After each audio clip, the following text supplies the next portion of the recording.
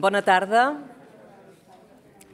Benvingudes i benvinguts a la sessió de cluenda del cicle de conferències en homenatge al doctor Jordi Nadal. Fa goig veure la sala plena. En nom dels que hem gaudit del cicle de conferències, vull agrair a l'Ateneu, en especial al Joaquim Perramon, per acollir-nos en aquest magnífic edifici. El Jordi Català i el seu comitè eh, d'organització per haver organitzat aquest homenatge científic al doctor Nadal i al Banco d'Espanya per la contribució al seu finançament. El doctor Nadal ha estat el gran referent de la història econòmica espanyola, però no era un només un excel·lent investigador, un excel·lent docent, era un mestre. Amb el seu exemple, la seva manera de fer va transmetre el compromís per la feina ben feta als seus deixebles i aquests, de retruc, als seus, de forma que la influència del mestre Nadal va molt més enllà de la seva obra. En recerca, el mestre Nadal ens ha transmès el rigor, el gaudi per les fonts primàries, per anar als arxius i poder sentir una emoció indescriptible quan trobem aquells documents que ens permeten explicar el que estem analitzant. Ens ha transmès la implicació, la passió pels temes que estudiem. El mestre Nadal també ens ha transmès que la docència és tan important com la recerca. Preparar bé les classes i tenir aquell punt d'atenció que ens fa que el cervell ens funcioni al màxim i que estem sempre de puntetes, fa que les classes siguin millors. Recordo el meu primer dia de classe de l'autònoma. Estava nerviosíssima i el doctor Maluquer de Motes em va dir que el doctor Nadal també estava nerviós el primer dia de classe. No sé per què, però va, em va passar, em vaig mig calmar i des d'aquell moment, cada inici de curs, penso en el doctor Nadal. El mestre Nadal imposava. I els principiants teníem una mica de por per les històries que ens explicaven. Crec que era perquè tenia una veu greu, perquè deia el que pensava sense subterfugis i especialment teníem por per no saber trobar la resposta correcta a les seves preguntes. El vaig conèixer a Santander, en uns cursos de la Universitat Menéndez Pelayo. Els més joves estàvem al bar del Palau de la Magdalena i el doctor Nadal es va seure al meu costat. Pànic. Després de dos minuts d'haver respost les preguntes, no em va semblar en absolut que era la persona que m'havien explicat. Em va semblar un home encantador, amb una veu profunda, sí, que preguntava, sí, però jo crec que preguntava per saber a on encaixava la, no la nostra recerca en el marc de la historiografia espanyola. I per què tenia curiositat? D'un home curiós. Mm, si no som curiosos, no podem pas ser bons historiadors. I haig de dir també que tenia un humor sagàs. Aquí, fins aquí, les meves anècdotes, però anem a passar a presentar-vos la sessió d'avui. En les anteriors sessions d'aquest homenatge s'han revisitat les obres dels temes capdals de la història econòmica que el doctor Nadal va investigar. El títol d'aquesta cinquena sessió, la tercera revolució tecnològica a l'albada del segle XXI, pot semblar que queda lluny de la recerca que realitza el doctor Nadal. Però no és així per dos motius. Primer, perquè el doctor Nadal va dirigir els atles eh, de la industrialització d'Espanya, que arriba fins al 2000, o de la industrialització de Catalunya fins al 2010, però si anem més endarrere, junt amb Josep Fontana van escriure el capítol d'Espanya en el Fontana Economic History of Europe, Contemporary Economies. El segon motiu es deriva de la concepció que el doctor Nadal tenia de la utilitat de la història. L'anàlisi històrica havia de servir per entendre els problemes del present. En aquest sentit, per entendre els problemes d'avui, hem de mirar els períodes més recents, sense desestimar els més llunyans. De ben segur que el doctor Nadal signaria el tema d'aquesta sessió. Ens aproparan en, aquests, en, aquest nou, eh, en aquests períodes més recents les conferències de la doctora Esther Sánchez i del doctor José Luis García Ruiz. La doctora Esther Sánchez és doctora per la, eh, en Història per la Universitat de Salamanca i professora titular del Departament d'Economia i Història Econòmica de la Universitat de Salamanca. És editora associada de la revista d'Història Industrial i de la Revue Française d'Histoire Économique. La doctora Sánchez és una de les destacades especialistes de la història econòmica franco-espanyola del segle XX. En la seva tesi doctoral, titulada Il n'y a plus de Pyrénées, Francia ante el desarrollo económico y la apertura exterior de España 1958-1969, analitzar la política exterior franquista des de la perspectiva del govern francès, la progressiva normalització de les relacions entre els dos països i l'evolució dels intercanvis comercials. En diverses publicacions en aquest àmbit eh, ha fet publicat llibres, revista, però crec que s'ha de s'ha d'assenyalar el llibre Rumbo al Sur, França i l'Espanya del Desarrollo. Una altra línia d'investigació ha estat la història de l'empresa, centrada en les multinacionals franceses a Espanya, Sobresurten els seus articles sobre la indústria automobilística, les empreses Renault o Citroën. També ha realitzat importants aportacions en l'àmbit en l'àmbit de la creació i difusió de la ciència i la transferència de tecnologia. Cal destacar un dels darrers articles que ha estat realitzat amb altres, amb altres coautors, publicat a Business History, Eh, sobre la transferència de la tecnologia nuclear. La doctora Sánchez inicià la seva recerca en la història de l'energia amb un article titulat La connexió hispano-francesa, els intercanvis d'energia elèctrica i cooperació nuclear, publicat a la revista Recerques. I culmina aquesta, aquesta eh, caminada per al món de l'energia amb el llibre publicat recentment amb Santiago López, Història de l'uranio en Espanya, de la mineria a la fabricació del combustible nuclear 1900-1986. Precisament, serà sobre el tema de l'energia que avui ens parlarà la doctora Sánchez, amb la, amb la conferència que porta per títol De l'ensueño nuclear a les energies verdes. Cuando quieras. Gràcies.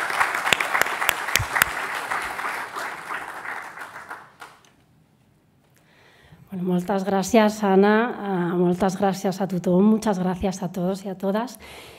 Bueno, es, realmente un, privilegio participar en este ciclo de conferencias y compartir programa con profesores, con investigadores, con profesionales tan destacados, ¿no? tan a la altura de nuestro homenajeado. Eh, muchas gracias, Jordi, Jordi Catalán, por, por haberlo hecho posible. Bueno, yo conocí al doctor Nadal ya, ya jubilado, ¿no? ya jubilado, pero jubilado en activo y conservando todavía esa autoridad moral, esa búsqueda de la excelencia, esa curiosidad, esa pasión por la historia industrial que ya se han resaltado en este foro, ¿no? ahora mismo lo acaba de hacer Ana, y ya se ha resaltado en este foro, pues como no podía ser de otra manera. ¿no? Y permítanme que evoque, antes de empezar, muy, muy brevemente, mi primer y mi último contactos con, con el doctor Nadal, porque creo que reflejan bien estas cualidades. Bueno, mi primer contacto fue hace casi 20 años, cuando siendo yo muy joven, en mis primeros meses de tesis doctoral, mandé a la revista de Historia Industrial la reseña de un libro que, por otra parte, nadie me había pedido. Bueno, el caso es que a, a los dos días recibí un mail firmado por Jordi Nadal en el que se decía algo así como, bueno, en mi condición de director de la revista, mm, me complace manifestarle que nos ha causado muy buena impresión su reseña y consideraríamos con el mayor interés la publicación de algún trabajo suyo de mayor entidad. Bueno, igual andaban faltos de material en revista de historia industrial, pero el caso es que este mensaje ¿no? que, que, que, imprimí y colgué frente a mi mesa y allí permaneció durante bastante tiempo, significó una alegría y, y un estímulo fundamentales en aquel despegue de mi carrera investigadora. Y, y, la última vez que coincidí con el doctor Nadal fue en 2013, cuando compartimos tribunal en una tesis eh, doctoral sobre el automóvil. Creo que ahí está, por ahí está el autor. Y bueno, y en aquel momento, tras, tras mi intervención y preguntas al doctorando, eh, el doctor Nadal eh, se giró hacia mí y obviando todo protocolo, comenzó a hacerme preguntas a mí y no al doctorando, ¿no? un poco intentando saber más cosas y cuanto antes le podía la curiosidad científica sobre los archivos, las fuentes y las referencias que yo acababa de mencionar. Y bueno, y entre estos dos acontecimientos tuve oportunidad de dar clase, tuve oportunidad de aprender y mucho en el Departamento de Historia e Instituciones Económicas que fundó el doctor Nadal en la Universidad de Barcelona. Y bueno, allí conocí a profesores, algunos eh, lamentablemente ya no están, con una calidad humana y con una calidad profesional que estoy convencida llenaban de orgullo a, a su maestro. Bueno, sin más preámbulos, paso a mi intervención sobre la industria eléctrica que es bueno, un sector, como todos ustedes saben, estrechamente relacionado con el crecimiento económico contemporáneo y, y, por tanto, no puede sorprendernos objeto de atención prioritaria en las políticas industriales. Y me voy a centrar en la energía nuclear, sobre todo, porque es el ámbito en el que llevo trabajando más tiempo y, por tanto, en el que puedo aportar conclusiones más certeras pero realizaré, no obstante, algunas apreciaciones finales sobre las energías renovables y, en concreto, sobre la eólica y la solar, intentando, uh, tratando de buscar paralelismos y lecciones uh, con la industria o de la industria nuclear. Bien, el tema de la energía nuclear ha implicado la consulta de muy numerosos eh, archivos y centros de documentación que he consultado yo y han consultado otros compañeros, ¿no? porque esto ha sido un trabajo en equipo. Muchísima documentación consultada en España y sobre todo fuera de España, que, bueno, que tiene este tema de la energía nuclear, tiene menos restricciones fuera que, en el Estado español, que aquí. También se han realizado muchísimas entrevistas con especialistas del sector, que en su mayoría, y muchas veces para nuestra sorpresa, pues se han mostrado encantados de dar a conocer su historia, ¿no? de conocer primero y de dar a conocer después su historia. Es una investigación esta de, la energía nuclear, de la historia de la energía nuclear en España, que se ha realizado fundamentalmente en el marco de dos proyectos de investigación nacionales que bueno, han sido liderados por dos investigadores de la Universidad Pública de Navarra, que son Mar Rubio y Joseba de la Torre, y, bueno, y a los que menciono, no solamente como directores de los proyectos, sino también porque son autores de algunas de las gráficas que proyectaré a continuación. Eh, bien, en nuclear, eólica y solar son fuentes de generación eléctrica o tecnologías de generación eléctrica relativamente recientes, características de la segunda mitad del siglo XX um, irrumpen con fuerza, primero la nuclear y después la eólica y la solar, en un mix dominado, bueno, pues ahí está en el gráfico, por la hidroelectricidad y la térmica. Y en conjunto acaparan hoy en España a más del 60% de este mix de generación eléctrica. Y digo generación eléctrica y no consumo global de energía, porque en el consumo global de energía lo que siguen dominando son los combustibles fósiles. ¿no? Nuestra economía, como tantas otras, sigue, sigue funcionando aún con petróleo. Bien, paso pues a la energía nuclear, a la industria nuclear y me remonto en primer lugar al primer tercio del siglo XX, que es cuando comienza la prospección de minerales radioactivos a nivel global y también en España. ¿no?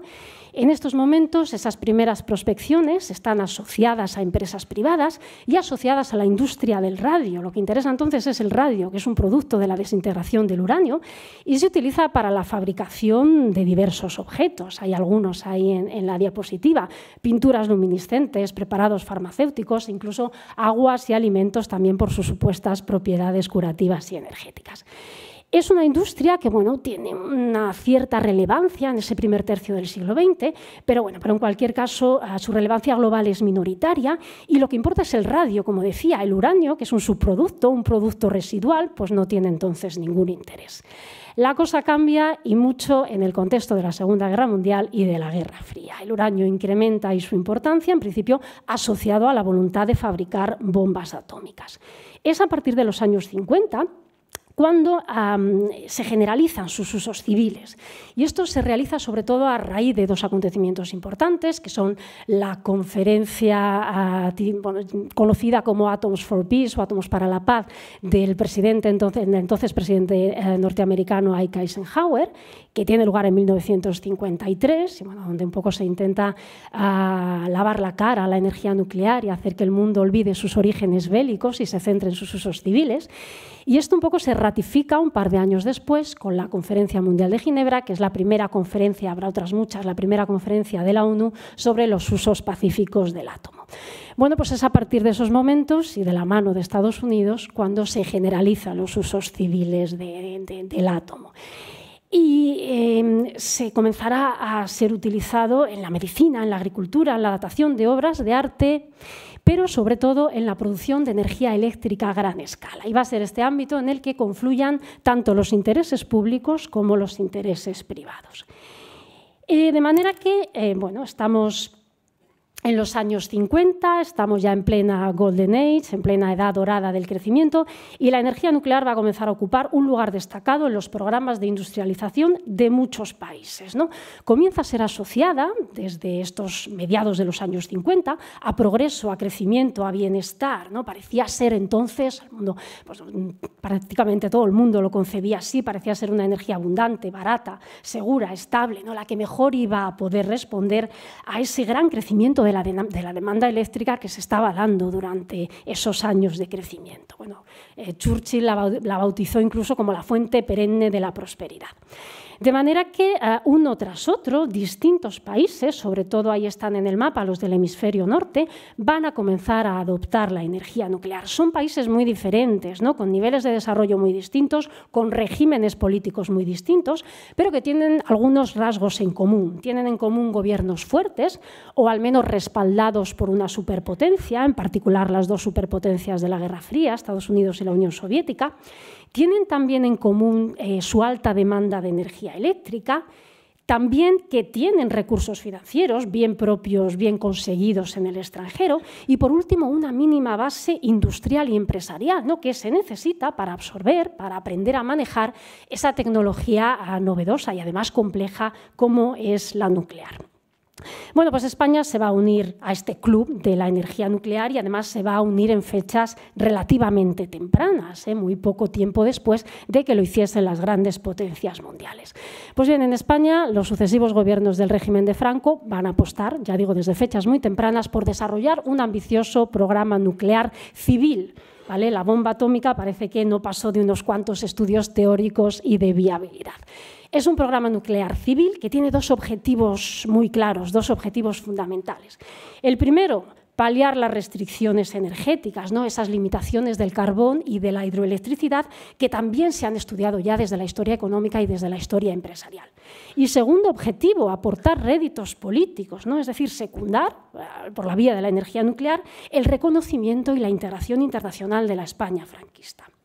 Bien, la industria nuclear forma parte en sus orígenes del proyecto autárquico. ¿no? De hecho, se basa en la supuesta existencia de amplias reservas de uranio en la península ibérica, que luego eh, se revelaron insuficientes, y además cuenta desde el principio con una amplia cobertura estatal, que sobre todo se materializa en la denominada Junta de Energía Nuclear. Pero, importante, la autarquía no va a impedir buscar fuera esos conocimientos y capacidades que no existían en España para desarrollar la tecnología nuclear, ¿no? que no existían en España, en parte, claro está, por ese exilio y esas depuraciones que siguieron a la guerra civil. Bueno, el caso es que hasta los más férreos defensores del proyecto autárquico, sobre todo los científicos e ingenieros militares de los primeros años, van a acabar por admitir que para lograr un día la autosuficiencia nuclear es necesario acudir primero al extranjero, porque tienen que comprar los equipos, porque tienen que adquirir la tecnología, porque tienen que obtener asesoramiento y porque tienen que formar fuera, dentro no se puede, a los especialistas españoles que vayan a tratar todas estas cuestiones. De manera que, eh, bueno, pues desde fechas muy tempranas, la Junta de Energía Nuclear se crea en 1951, se va a establecer un rico escenario de relaciones internacionales. Em, llevando por bandera esto de la energía nuclear y de la cooperación nuclear occidental, España va a tener acceso a, organismos bueno, que a priori eh, parecía que tenían sus puertas del todo cerradas, ¿no? a esa España de la dictadura, del aislamiento y de la autarquía de esos primeros años 50. Em, eh, por ejemplo, España es eh, miembro fundacional del Organismo Internacional de la Energía Atómica y entra en la agencia nuclear de la OECE unos meses antes de entrar en la propia OCDE, OCE, perdón, futura OCDE. Y además no solo participa en estos foros internacionales, sino que encima es miembro muy activo, ¿no? está enseguida en los grandes grupos de expertos, ah, toma parte en los procesos decisionales y ocupa puestos directivos. El artífice de estas relaciones internacionales es este personaje que aparece ahí en la foto, José María Otero Navascués, presidente de la Junta de Energía Nuclear, que era un ingeniero de la Armada, bien conectado con los círculos de poder franquistas, pero también eh, reputado científico internacional. ¿no? Un hombre además políglota, algo que entonces se estilaba poco, y encima con grandes dotes para la diplomacia. Bien, gracias a la asistencia exterior, gracias a este rico escenario de relaciones internacionales que se materializa en un montón de acuerdos de tipo bilateral y de tipo multilateral, bueno, pues España va a conseguir familiarizarse con todo el ciclo del uranio, es decir, el recorrido que hace el uranio, la materia prima de los reactores nucleares, desde que sale de la mina y hasta que, pues, pasados una serie de, de procesos de tratamiento químico, físico, metalúrgico, llega al reactor para ser utilizado como combustible y después también tendrán que gestionarse eh, sus residuos. Bueno, el caso es que primero a nivel de laboratorio, luego a nivel de planta piloto y finalmente a nivel de planta industrial, España y en concreto la Junta de Energía Nuclear va a conseguir controlar todas esas fases del ciclo del uranio con la única excepción del enriquecimiento. ¿no? Hay una fase, ahí está tachada, que, bueno, que directamente se contrata en el extranjero porque es un proceso caro y es un proceso tecnológicamente muy complejo y que, bueno, que ni siquiera se intenta dentro.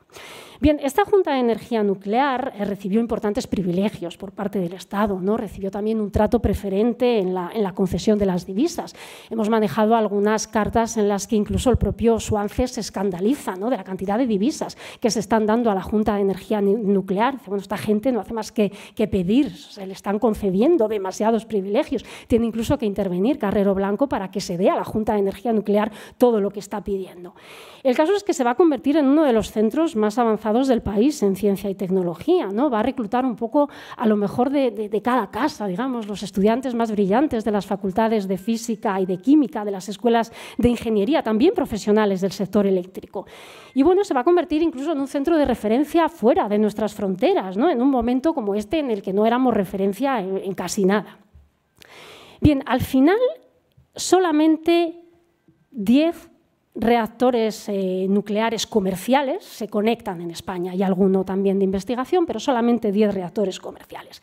Pero llegaron a planearse 40, llegan a planearse 40 a reactores, es decir, tenemos 40 solicitudes encima de la mesa del Gobierno para que, bueno, pues para someter a aprobación. Claro, eso eh, significa que se, se, está pensando en unos 70.000, 80.000 megavatios de potencia, es decir, que el 70, el 80% de la generación eléctrica provenga de lo nuclear. ¿no? Y eso significa además que no solo se intentan construir reactores, sino otras muchas infraestructuras relacionadas con los reactores como todas las que tienen que ver con ese ciclo del uranio cuyo esquema proyectaba antes. Ah, son reactores, sobre todo, que están pensados para responder a la altísima demanda eléctrica que proviene especialmente del sector industrial. De hecho, los tres primeros reactores pues, responden directamente a esa demanda industrial que viene del triángulo Madrid-Barcelona a País Vasco. ¿no? El reactor de, de, Zorita es para satisfacer la demanda de Madrid, el de Garoña para el País Vasco, el de Vandellós uno para Barcelona o en general Cataluña. Em, la gran mayoría de los reactores eh, construidos o no construidos, pero preautorizados, encargados y empezados a pagar, ah, van a llegar de Estados Unidos. Ahí está el predominio de las banderas norteamericanas. Y se van a fabricar con licencias de los dos grandes gigantes norteamericanos, que son Westinghouse y General Electric. Y además se van a financiar con créditos del banco público eh, norteamericano Export-Import Bank, el Exim Bank.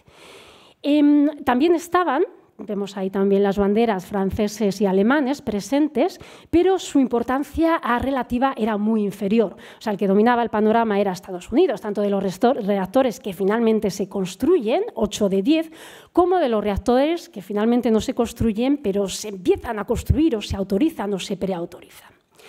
Em, entre, se calcula que entre 1955 y 1980 Estados Unidos es el principal exportador mundial de reactores, tiene en torno al 80% del mercado mundial de reactores, del mercado libre, ¿no? porque excluimos a la Unión Soviética, y España durante ese intervalo es el que más reactores le encarga. ¿no? España es el primer cliente del primer suministrador mundial de reactores. ¿no? Un poco reflejo, esto refleja, creo que bien, esos eh, ambiciosos objetivos del programa nuclear español. Bien, Mar Rubio y Joseba de la Torre han calculado el reparto por sectores de los créditos concedidos, concedidos a España por este banco norteamericano, por el Export-Import Bank. Y ahí, y ahí se observa un claro predominio del sector eléctrico y dentro del sector eléctrico de las plantas nucleares. ¿no? Eh, bueno, eh, parece ser que sin la financiación pública extranjera y sobre todo la financiación pública norteamericana, el desarrollo del programa nuclear español hubiese sido del todo imposible. ¿no? Es verdad que el Export-Import Bank financió a otros sectores fundamentales en el del desarrollismo español. O sea, es verdad que también financió trenes a Renfe, financió aviones a Iberia, pero eh, tuvo un papel especialmente destacado, ahí lo reflejan los números, en la financiación del programa nuclear español. Bien, el sector nuclear va a reflejar como pocos la imagen de un país en desarrollo, ¿no? la imagen de ese desarrollismo de los años finales de los 50, 60, principios de los 70. Un país todavía atrasado en términos relativos, pero al que ah, comenzaban a llegar algunas de las tecnologías más punteras del siglo XX. Aquí hay algunas imágenes ¿no? de, esa llegada de las tecnologías eh, nucleares. Esta se refiere a la edificación de la central nuclear de, de Vandellós 1 en, Tarragona, y aquí hay otras dos que me gustan mucho. Esta es el reactor de Zorita camino a la central, ¿no? compartiendo carretera con ese transporte a, a lomos de mulas que todavía existía en la España de la época. Y este es el reactor de Garoña intentando franquear la carretera nacional a su paso por un pueblo de Burgos. ¿no? un poco este reflejo de la dualidad que todavía persistía entre ese contraste entre tradición y modernidad. Bien, eh, desde finales de los años 70, esa fuente perenne de la prosperidad de la que hablaba, eh, la que hablaba perdón, Churchill para referirse a la energía nuclear va a comenzar a flaquear va a comenzar a flaquear en España y a nivel internacional. Y es que en muchos países se revisan a la baja primero y se cancelan después los programas nucleares. ¿Por qué? ¿Qué está pasando? ¿No? Pues en primer lugar, influye, y es la razón principal, la crisis del petróleo. La crisis del petróleo va a constituir una especie de arma de doble filo ah, para el sector nuclear. ¿Por qué? Bueno, pues porque primero dispara la demanda de uranio, que se contempla como una alternativa estupenda a ese petróleo cuyos precios se han incrementado. Pero después lo que hace la crisis del petróleo es dejar en evidencia el sobredimensionamiento del proyecto nuclear. Y es que la crisis industrial que trajo consigo el shock petrolífero mundial provoca la caída de la demanda eléctrica y evidencia el exceso de oferta, ¿no? de manera que hay que hacer ahí un reajuste importante. Pero es que además influyen y confluyen en estos momentos bueno, otros, otra serie de, causas que eh, hacen que se revisen a la baja, que se cancelen los programas nucleares en muchos países. Son unos momentos, eh, y estamos a finales de los 70, principios de los 80, en los que han aumentado los costes de construcción y de operación de los reactores nucleares, por distintas razones, porque se han incrementado la mejora de los sistemas de seguridad, y eso tiene costes, claro, sobre todo eh, se van a aumentar los costes los sistemas de seguridad tras los grandes accidentes. Y aquí, en estos momentos, se ha producido ya el primero de los tres grandes accidentes nucleares, que fue el de Three Mile Island en Estados Unidos en 1979.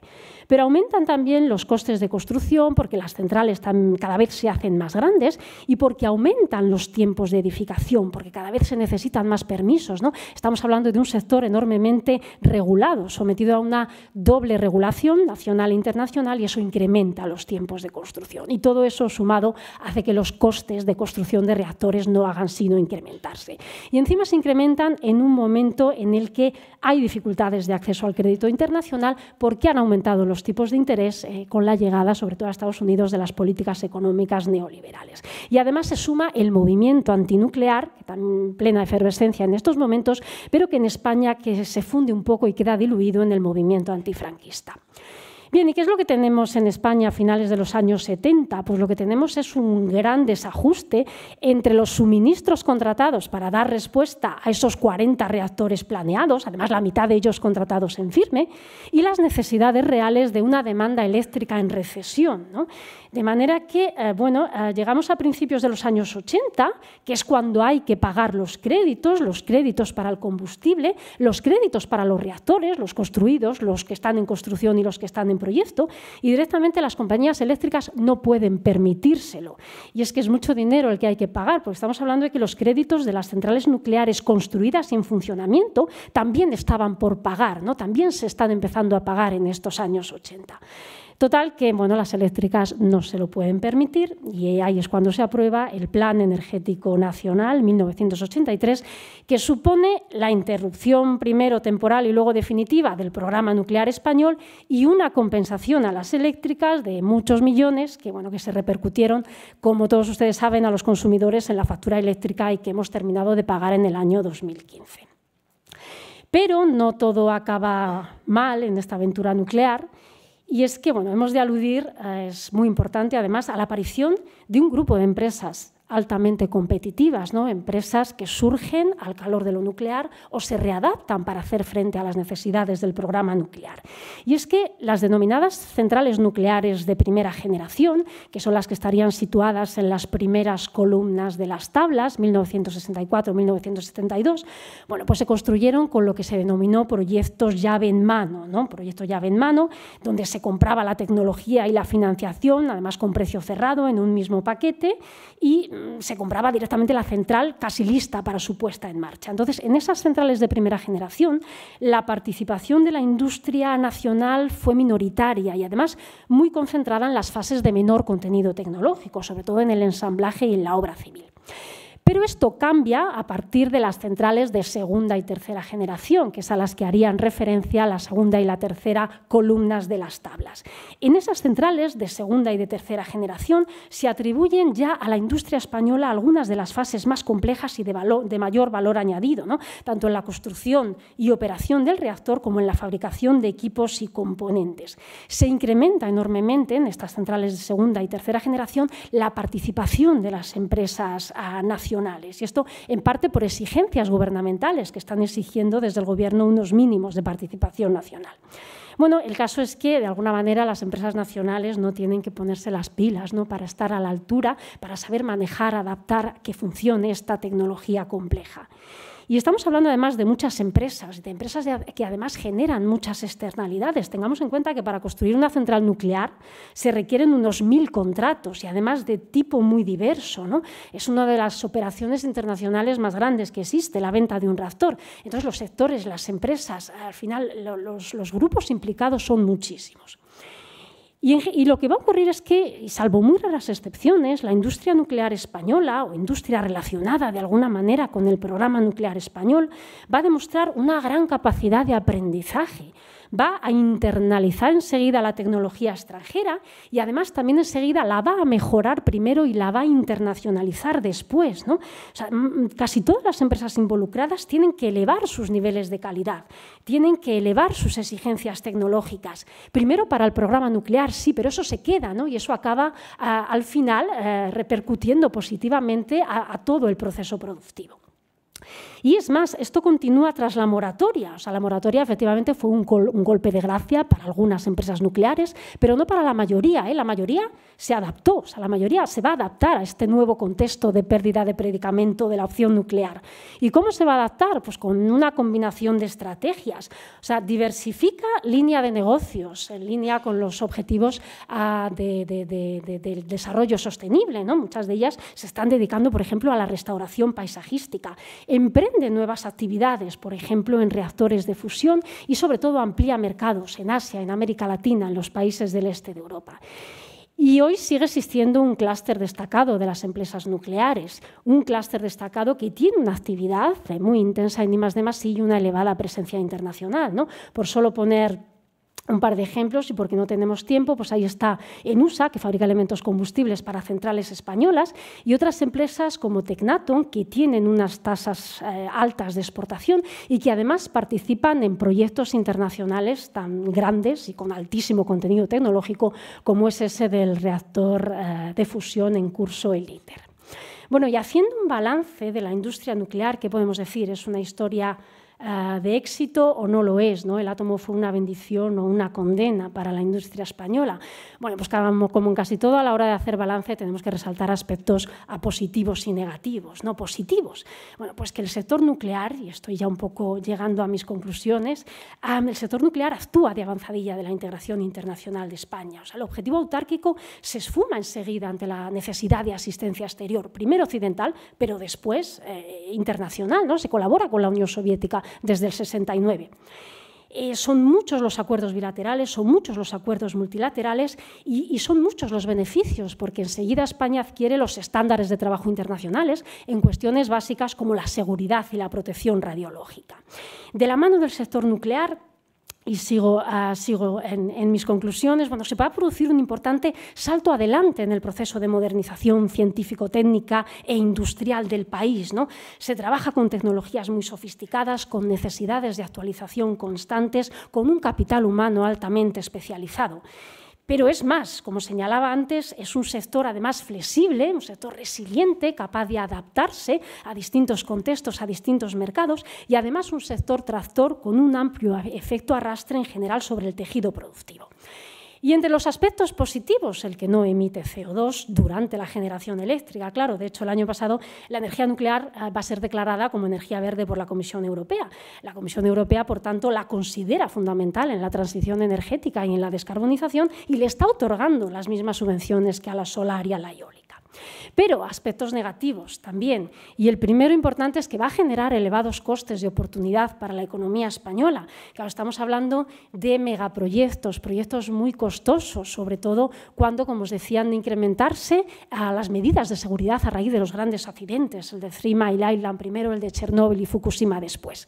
Una industria con un elevado proteccionismo que se nota sobre todo en el uranio. ¿no? El uranio español eh, se revela como no competitivo enseguida, pero el gobierno español se deja muchísimo dinero prospectando y explotando yacimientos de uranio no competitivos en la dictadura y en la democracia.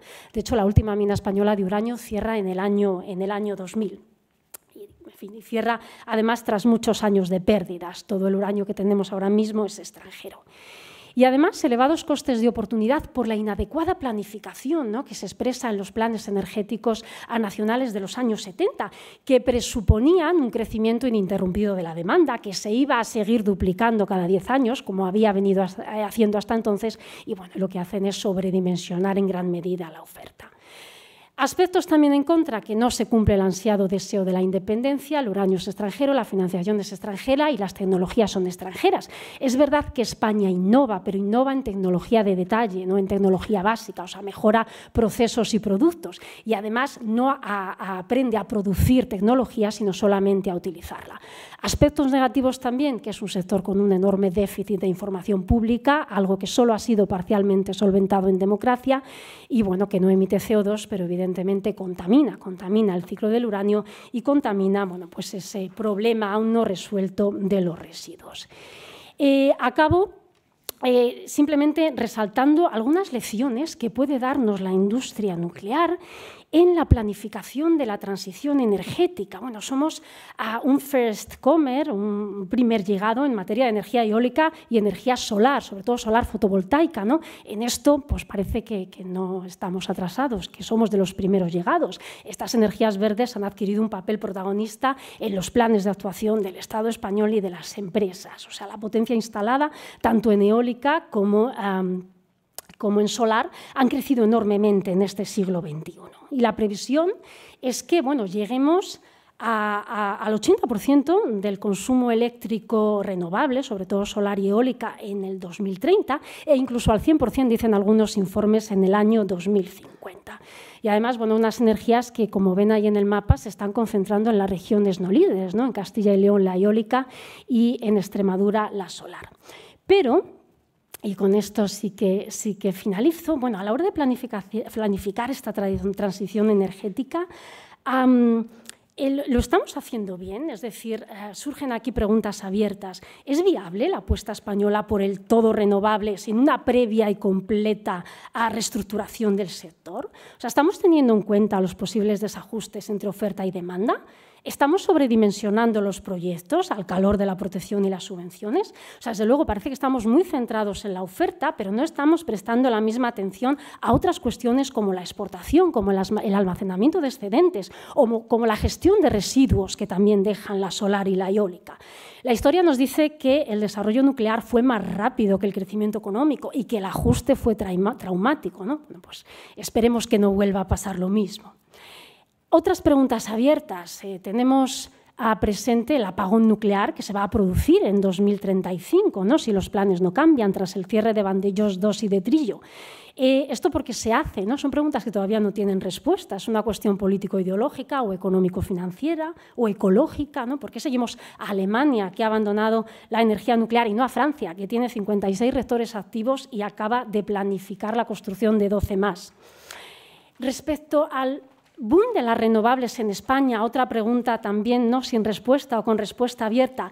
¿Este boom de las renovables en España va parejo al auge de la industria y de la tecnología españolas? O sea, cierto es que en España ah, bueno, ah, existen empresas en toda la cadena de valor de la eólica y de la solar, pero también es cierto que la mayoría de las instalaciones llevan sello extranjero y en concreto llevan eh, sello de, de, China. ¿no? De esto se habla poco, parece que la transparencia y la consulta pública siguen siendo asignaturas pendientes, pero no hay un boom renovables que esté yendo parejo al auge de la industria y la tecnología española, ya digo, la mayoría son de factura extranjera. Y bueno, acabo con una última pregunta de respuesta abierta. ¿no? Pues me pregunto, ah, yo incluso pregunto ya para el debate, si es posible, incluso deseable, la independencia energética, contemplada como independencia energética europea. ¿no? Esto muchas veces es a costa de aumentar los precios, a costa de aumentar la protección, o ambas cosas. ¿no? no bastaría con diversificar proveedores, incluso diversificar tecnologías. ¿Es realmente una ventaja la independencia energética o no? Y con estas preguntas abiertas, no sé, creo que no he excedido demasiado el tiempo, lo siento. Acabo y muchísimas gracias por, su atención. Muchas gracias.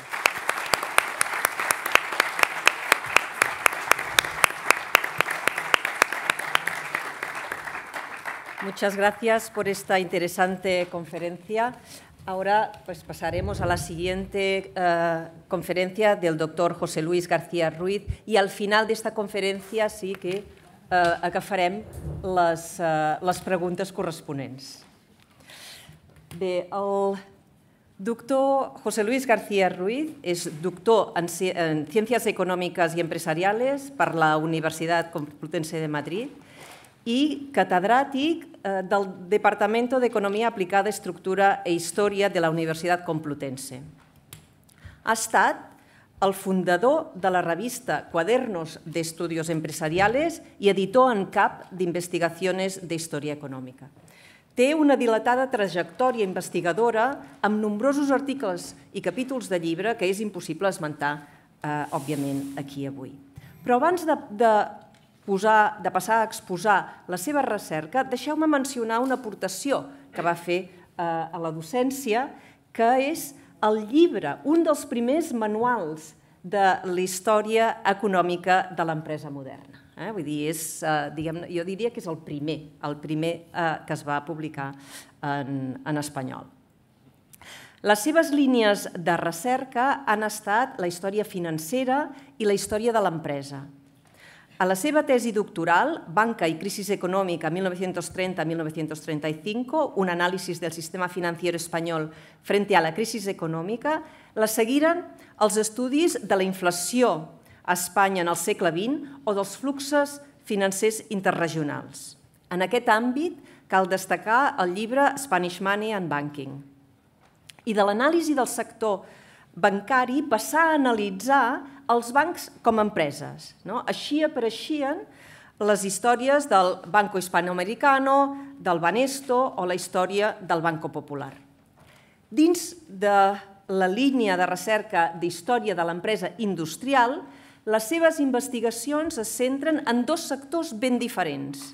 La indústria cervesera, amb la seva obra eh, prima en aquest, eh, en aquest àmbit, Cervezas Mou, i la indústria de l'automoció, que destaca el seu llibre sobre la història empresarial de, la història empresarial de Barreiros.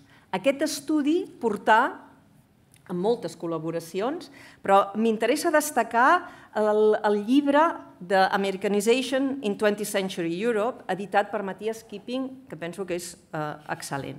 També ha estat col·laborador i coeditor a llibres com The Determinants of Entrepreneurship, amb uh, Angelo Toninelli.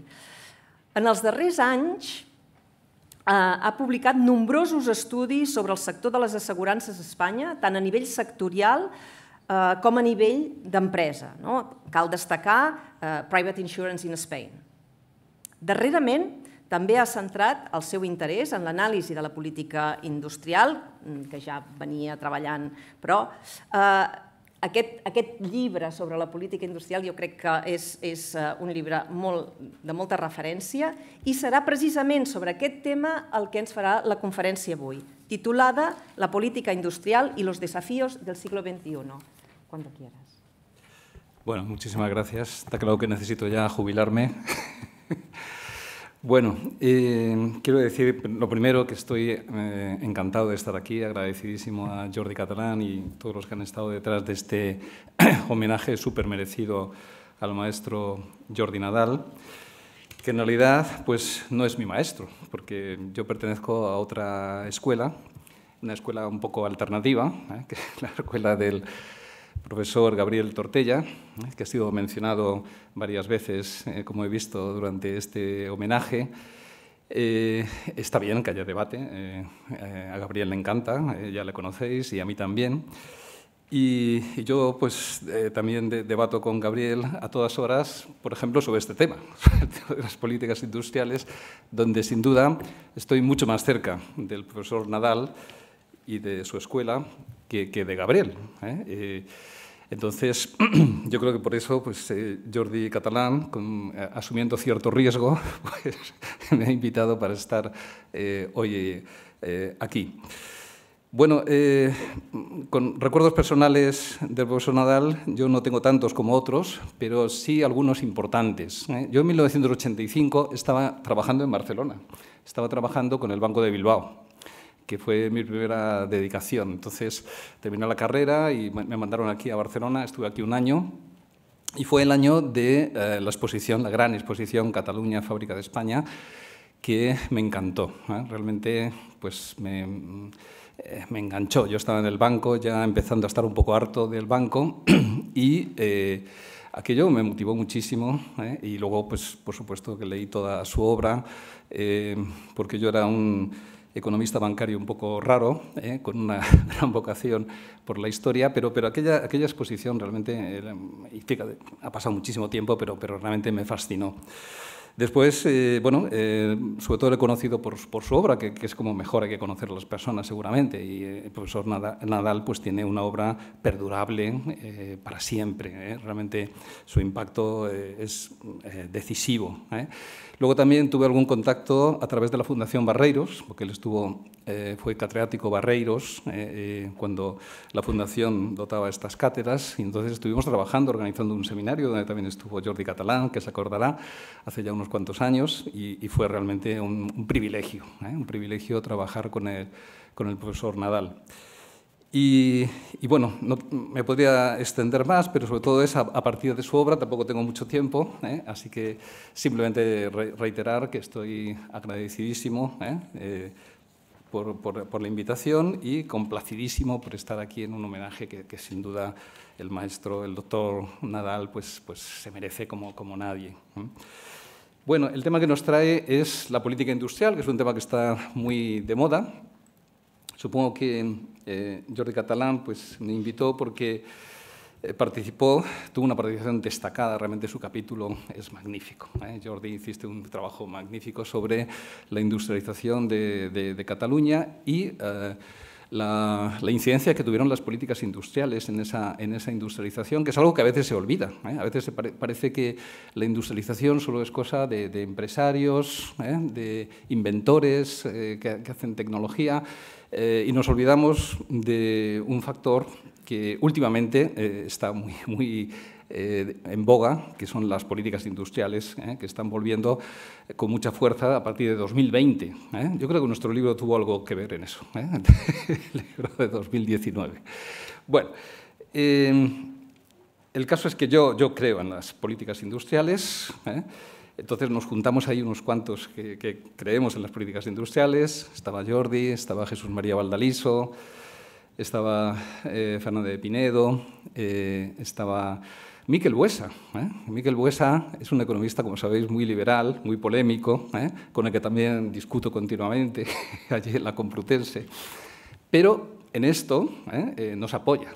Él, claramente está con las políticas industriales, quizá porque es vasco, entonces eso también pues, seguramente ayuda a entender la cuestión. Y también estuvo en este libro y finalmente Miguel Sebastián. Miguel Sebastián, que yo creo que fue un magnífico ministro de Industria, fue el último que tuvo un plan eh, para industrializar España, eh, antes de que llegase pues, esta iniciativa desde Europa, con los fondos Next Generation y todos los PERTES, que aquí también lo comentaré brevemente. Pues antes de todo eso, Miguel Sebastián pues, eh, tuvo un plan, el PIN 2020, que se llama así, en acrónimo, y que lo lo cuenta en este libro muy bien, lo expone muy bien. Eh, es la única exposición que, ha hecho académica eh, sobre, sobre esta iniciativa. Eh, la argumenta muy bien y, yo creo que es una gran aportación al, al, libro, la aportación de Miguel Sebastián. Bien, yo creo que sin políticas industriales, lo queremos unos cuantos, no hay industria y la industria es muy importante, es estratégica por razones de seguridad nacional. Eh, porque ahí se concentra la productividad, la I+.D., las patentes, las exportaciones, los empleos de calidad. ¿vale? Entonces, la industria importa. Y esto, eh, pues uno de los primeros que me lo enseñó fue el profesor Nadal. ¿eh? El profesor Nadal, la industria, ciertamente le importaba. Era el sector para él más importante, sin duda, y tenía razón, seguramente tenía razón. Bien, la exposición es un poco larga, la voy a tener que acortar y pues eh, tendría una primera parte de orígenes, que voy a dejarlo eh, casi de lado, eh, hasta 1907, que es cuando eh, empiezan las políticas industriales en España, con Maura, entre 1907 y 1977, 70 años de políticas industriales que realmente explican mucho de la gran industrialización española. Además, hay una continuidad en la cual me gustaría insistir durante todos esos años, a pesar de que hay regímenes políticos diversos, hay dos dictaduras, hay situaciones más o menos democráticas, en fin, la restauración, bueno, pero eh, hay una continuidad en ese, en ese empeño eh, industrial. Luego viene la crisis de, esas políticas a partir del 77, que es una crisis eh, compartida con otros países, porque también algo que me gustaría insistir, podemos debatirlo, es que lo que ocurre en España no es único, es decir, ocurre igual en todo Occidente. ¿vale? Entonces, nosotros formamos parte de esos ciclos, somos un país que tampoco tenemos una gran influencia, para que nos vamos a engañar, Luego veremos algún dato del peso de nuestra industria, que ha sido pequeño siempre, ¿eh? en el contexto europeo, sin ir más lejos. Entonces, mm, pues aquí ha ocurrido lo que tenía que ocurrir, de alguna manera. Eh, y eh, es una crisis que está muy asociada al neoliberalismo, que es una gran corriente que dice que da igual cómo te desarrolles, da igual que que la mejor política industrial es la que no existe, en fin, estas cosas que, que, se oían hasta hace no muy poco, que claro, nos han debilitado, nos han debilitado frente a Asia y por eso, pues a partir de 2020, como sabemos, hay una reacción y hay un retorno de esas políticas industriales ¿eh? y, todo el mundo pues eh, está... Eh, pues em, diciendo que hay que volver, bueno, todo el mundo no, pero en fin, muchos, muchos eh, economistas, eh, también políticos, empezando por Estados Unidos, eh, después en, en Europa, están, digamos, siguiendo lo que en, Asia siempre ha ocurrido, porque en Asia, el éxito de Asia, ¿eh? esto lo dice Danny Roderick con gran claridad, el éxito de Asia está en que ellos no han abandonado nunca las políticas industriales. Haya habido siempre políticas industriales, también lo ha dicho de Catalán en algún artículo, lo recuerdo ahora, eh, pero a partir de ahí, pues bueno, eh, parece que hemos eh, despertado y eh, el sueño neoliberal, pues claramente ha sido una pesadilla y hay que procurar salir de él. Hay economistas que dicen que ya es demasiado tarde. Ayer leía pues un artículo de James Galbraith que dice que ya es demasiado tarde, que ya poco se puede hacer, pero bueno, yo creo que siempre habrá que intentarlo porque nos jugamos ciertamente nuestro futuro. Entonces, bueno, eh, hitos a considerar, pues la Ley de Protección a la Industria Nacional de Maura. Maura, en fin, eso todos estamos de acuerdo, es el que inicia las políticas industriales modernas, más allá del proteccionismo canovista. Eh, después, los pactos de la Moncloa, que tienen muchos aspectos positivos, sin duda, pero también es el principio de, digamos, esa línea eh, que va a liberalizar, desregular con poco cuidado, que nos va a desindustrializar. Esto es una idea que sobre todo desarrolla Miquel Buesa muy bien en, el capítulo correspondiente del libro. Y finalmente la reacción en Europa a partir de la nueva estrategia industrial que aprueba la Comisión Europea en el 10 de marzo de 2020 y que eh, pues ha dado lugar a esos fondos Next Generation que se traducen en PERTES, ¿eh? hay 12 PERTES, eh, que pretenden pues, que Europa pues, haga chips. no, en Europa solo el 10% de la producción de chips se hace en Europa, el resto se importa. Entonces, por lo que he leído también esta mañana, porque esto es un tema muy actual. He mandado el, PowerPoint muy tarde porque estaba actualizándome, continuamente aparecen noticias, entonces parece ser que se quiere llegar al 20%. Que, bueno, con eso nos conformamos de momento.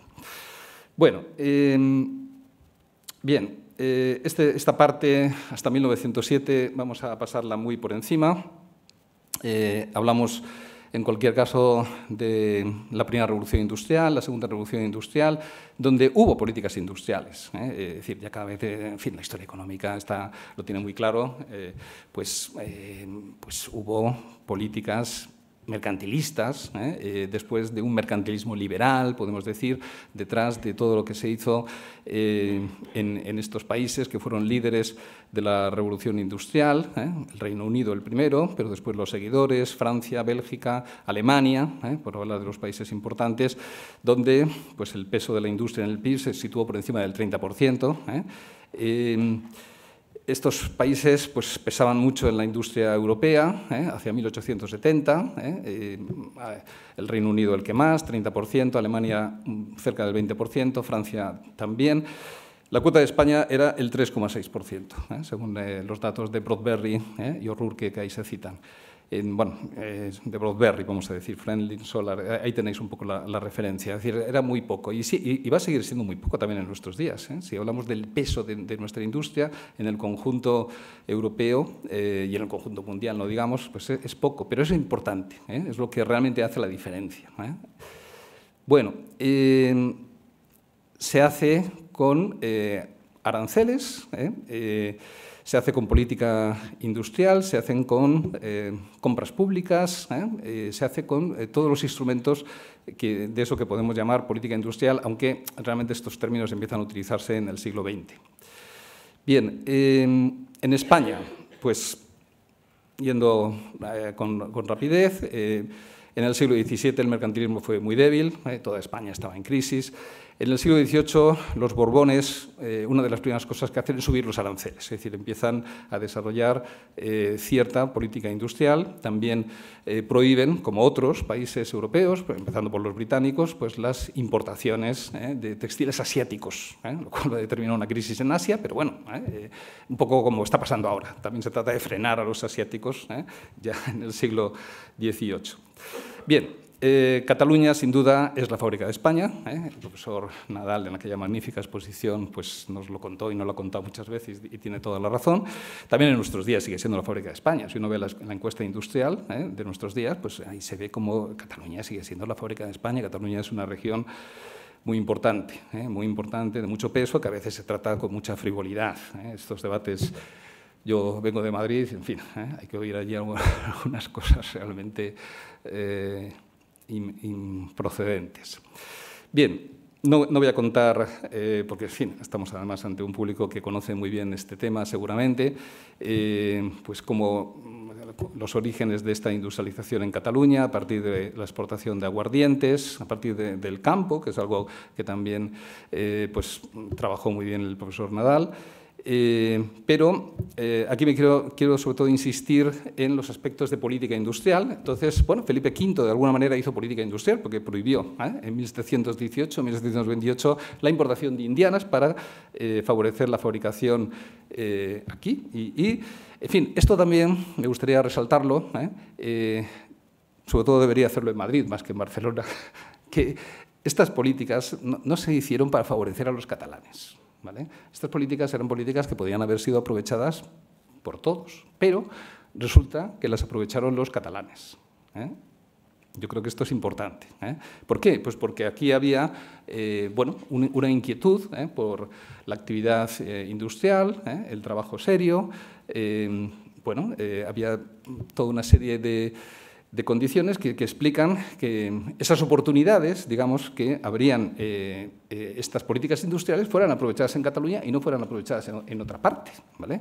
Esto yo creo que es bastante evidente, pero eh, está claro en el debate público, pues no se ve así, sobre todo fuera de Cataluña, y es lamentable. Bueno, Carlos III también hizo mucho, digamos, bueno, por eh, Cataluña, al abrir el puerto de Barcelona al comercio con América, a partir de ahí se pudo traer el algodón, eh, pero no fue el único puerto, ¿eh? hubo otros puertos que también se vieron beneficiados. Bien, y lo interesante es lo que, digamos, hicieron los catalanes, que empezaron a mecanizar, empezaron a, a trabajar seriamente el algodón, a construir una fabulosa industria algodonera, pero siguió la política industrial, si entramos en el siglo ya XIX, Trienio liberal. Bueno, pues hubo política industrial porque hubo políticas proteccionistas, incluso esos liberales, claro, salíamos de las guerras napoleónicas, entonces había que hacer algo. ¿eh? Entonces, eh, políticas proteccionistas con el textil, eh, prohibicionistas incluso con los granos para favorecer la producción nacional.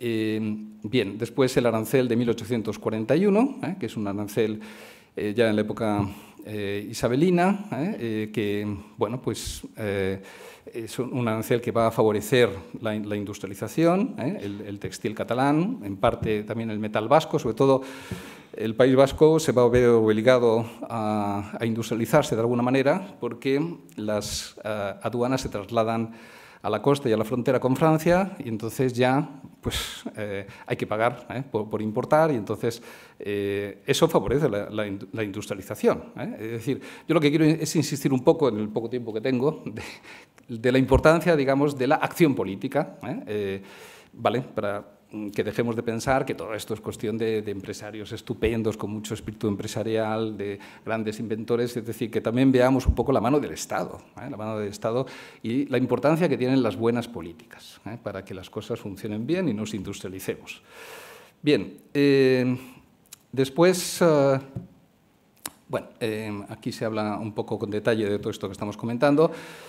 Hay una época, digamos, eh, que el profesor Nadal yo creo que criticó eh, pues con acierto también, que es toda esa época, digamos, de los progresistas, eh, los liberales extremos, de los años 50, 60, donde, bueno, pues eh, digamos, estamos ante un capitalismo que hoy día llamaríamos casi neoliberal, ¿eh? donde todo valía, en fin, aquí también en otras ponencias se ha eh, criticado pues, el, impacto desestructurador, sobre todo de esas, de esas políticas, donde todo lo hace el capital extranjero, al que se le da todo tipo de facilidades, ¿vale? En la minería, en los ferrocarriles, etcétera, en la banca. Bueno, Finalmente, pues se entra, digamos, en razón ¿eh? en la época de la restauración, que es una época que cada vez se está revalorizando más, ¿eh? Eh, y aparecen, pues, digamos, políticas industriales. Aparece Cánovas con su proteccionismo y, sobre todo, aparece Maura, que es, bueno, yo creo que fue pues, un, un gran político que va a empezar con una política de compras públicas, para utilizar términos modernos, exigiendo contenido local, ¿eh? Eh, en el reglamento de la, de la, ley de 1907, que se, se promulga en 1908. En esa línea eh, irán también los liberales, Santiago Alba, eh, con su ley de auxilios, 1917. Todo eso conduce eh, a, la, dictadura de Primo de Rivera, donde un maurista, José Calvo Sotelo va a ser un maurista, va, a seguir. En realidad también lo que me gustaría insistir es que hay una línea de continuidad entre 1907 y 1977, más allá de las diferencias eh, políticas. ¿eh? Eh, por ejemplo, esto se ve con el Consejo de Economía Nacional, que se crea a partir de 1907 con otro nombre, pero en realidad pues, hay una continuidad entre esa Comisión Protectora de la Producción Nacional y después el Consejo de Economía Nacional, que luego en la República cambia de nombre, pero es lo mismo. Digamos que hay una, una inquietud que se mantiene en el tiempo y que nos ayuda a entender la industrialización de España. Bien, esto se puede aplicar a diferentes sectores. Estamos ya en segunda revolución industrial, un sector que el profesor Nadal analizó estupendamente, sobre todo en ese magnífico libro sobre Hispano-Suiza, su última gran obra maestra. Eh, el tema del automóvil, pues, pues el tema del automóvil no se entiende sin Eh, el primer congreso eh, de 1926 eh, sobre el motor y el automóvil, que lleva a una política de compras públicas, después protección arancelaria, después contenido local, 70%. Es decir, todo esto fue muy importante para promover, digamos, bueno, una de las grandes industrias que tenemos en nuestros días y después esto va a tener continuidad durante, el, durante el franquismo, como sabemos, donde, bueno, eh, pues eh, hay un primer franquismo y un segundo franquismo con marcadas diferencias en, muchos eh, sectores y en muchas características, pero digamos que en todo momento se va a mantener la idea de la política industrial. Esto, sí es un elemento de continuidad. hay un cierto debate en torno a la obra de Lino Camprubí, que nos ha hablado de la importancia de los ingenieros, de la mentalidad ingenieril en todo momento, también en el primer franquismo.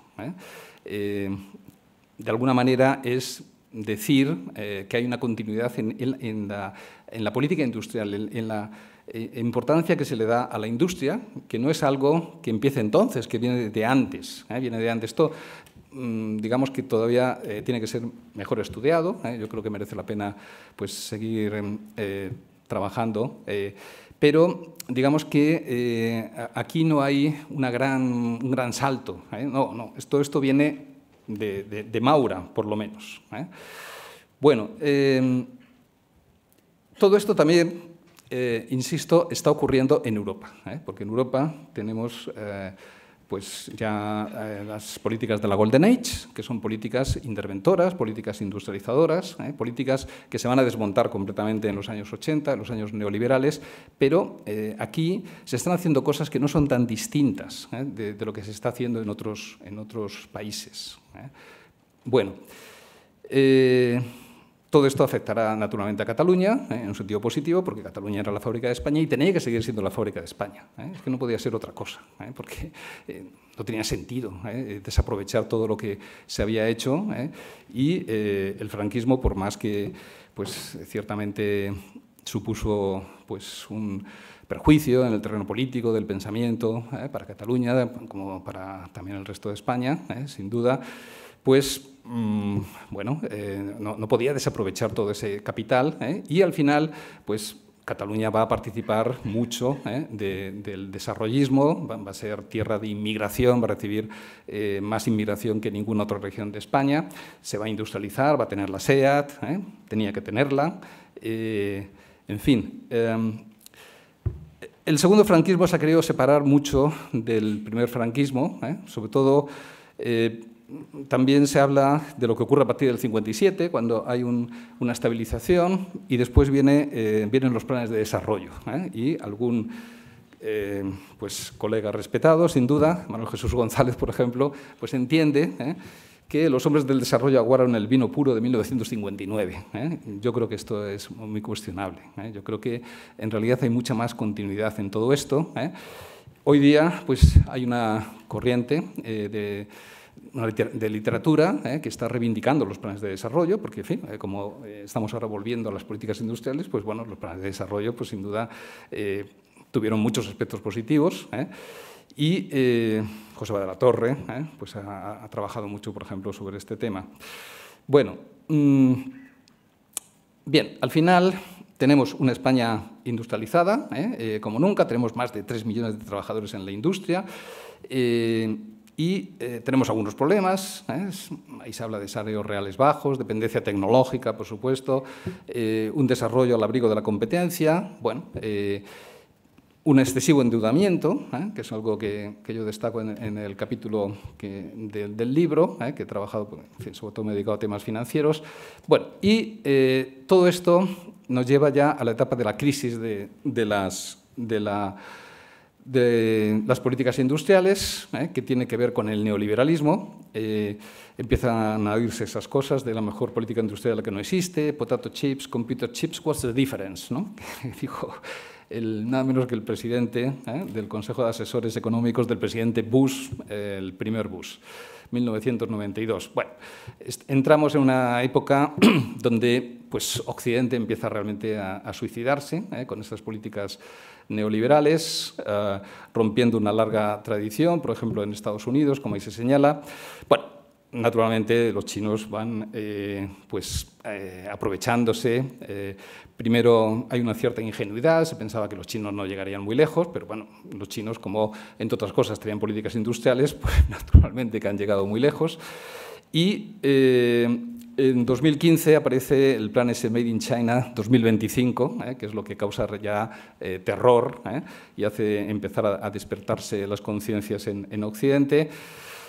Tenemos al presidente Trump, lamentablemente tiene que ser él, eh, el que va a volver al, proteccionismo eh, con un contenido muy agresivo, muy populista. No se trata de eso. Eh. Evidentemente las políticas industriales son una cosa seria, una cosa que pues, no tenemos que identificar con, Trump, pero bueno, él, es el que, digamos, pues, viviendo digamos, la, desesperación en la que ya se encontraba pues, la sociedad americana en, en amplios sectores, pues al final eh, decide ir por ese camino que después ha seguido eh, Biden hasta, hasta nuestros días. En Europa, pues tenemos algo parecido. ¿eh? Hay una famosa Bangemann Communication de Martin Bangemann, que era un, alemán, increíblemente neoliberal. Hay, hay, pocos, pero este era uno de ellos, muy influyente y eh, que llevó al desprecio de las políticas industriales en Europa en esos años 90. Bueno, hay una reacción a partir de 2010 y ahí donde se inscribe eh, el plan eh, PIN 2020 de Miguel Sebastián, que se cuenta muy bien en, en, el libro, donde aparecen unos sectores a potenciar. Son sectores que después se han recuperado en, los PERTES, ya llegando a, a, nuestros días. Bien, Ahí tenéis algún detalle más sobre lo que supuso la desindustrialización. ¿eh? Esto está analizado muy bien por Miquel Huesa en el, libro, ¿eh? esas políticas de liberalización, privatización, desintervención y, sobre todo, no eh, reindustrialización. Y esto se aprecia muy bien luego en los datos que vamos a ver pues en, poco tiempo. Fracaso de, pocos, las pocas políticas que se hicieron para intentar eh, hacer promoción industrial, el PAIN, por ejemplo. Eh, en fin, hubo algo más racional en automoción, en material ferroviario, donde va a haber compras públicas, eh, pero en general a lo que, asistimos es, ahora veremos algunos datos si nos da tiempo, pues eh, una, clara desindustrialización, ¿eh? que todos tenemos en, la conciencia. Bueno, y ahí se habla un poquito de la, de la, reacción, pero en fin, esto ya es de 2022, ¿vale? Esto es una cosa muy, muy reciente, ya veremos el resultado que da. ¿eh? Pero el presidente Biden pues, apoya la Inflation Reduction Act ¿eh? y la CHIPS Act ¿eh? Eh, con cifras fabulosas. Ya veis ahí, los, estas son las cifras que he visto últimas, porque no sé, se dan diferentes cifras. Estas las he tomado de Anna Kruger, que es una reputada economista crítica, muy crítica con estas políticas. pero en fin, son cifras realmente tremendas. En Europa se está también yendo con, con retraso por esa, por esa vía. Eh, aquí en, en, España, pues lo que tenemos son los fondos Next Generation y los PERTES. ¿eh? Ahí aparecen uh, los PERTES con los datos eh, que he conseguido recopilar, 12 PERTES, donde se tratan pues, temas que tienen que ver con, la, con las energías renovables. bueno, hay diferentes sectores, la economía de la lengua también, en fin, hay, pero también los vehículos eléctricos.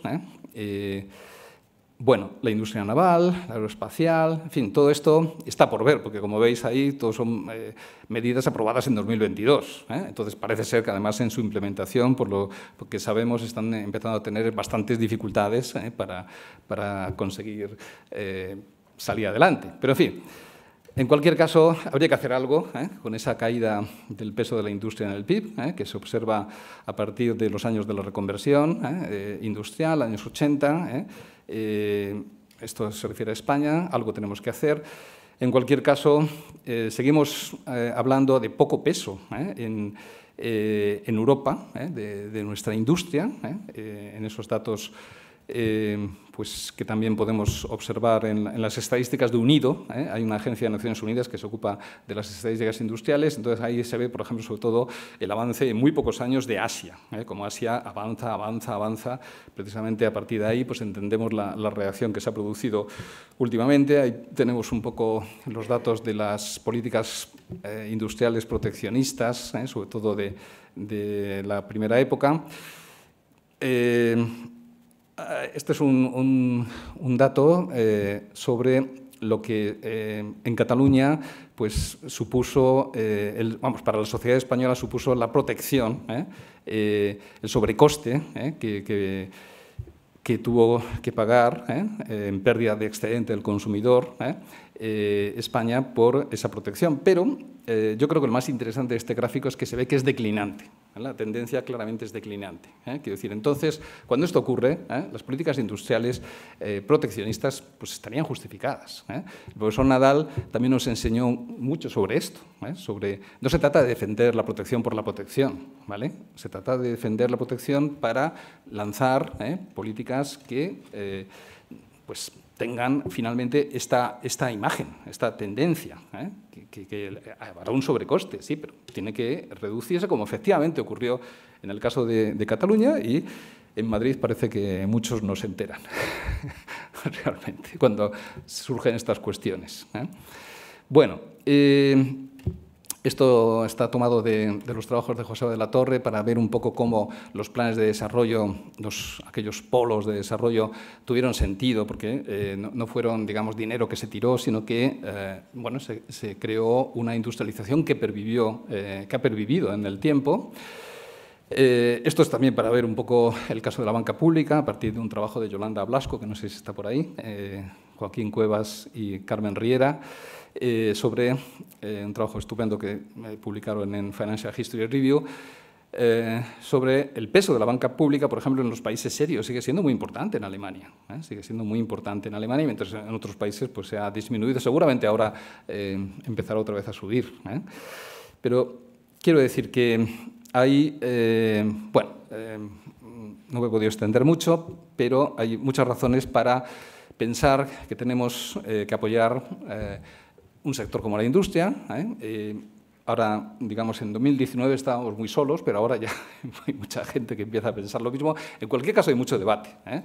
Y, por ejemplo, eh, Anne Kruger ¿eh? pues, eh, está completamente en contra. Yo leí un artículo suyo, es una economista muy seria, diciendo que todo esto va a ser un coste enorme para el contribuyente, que no va a conducir a nada, que la productividad se va a hundir, que para qué hacemos esto. Pero bueno, hay otros grandes economistas, Daniel Roderick, por ejemplo, y muchos otros, pero en fin, Roderick está muy apoyando estas estas políticas. ¿Por qué? Pues porque la industria es importante, como nos enseñó el doctor Nadal.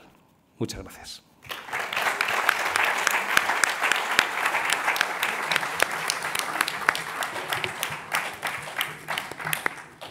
Bueno, muchas gracias a los dos conferenciantes, la doctora Sánchez y al doctor García, por haberse ajustado al máximo al tiempo disponible. Muchísimas gracias por esto.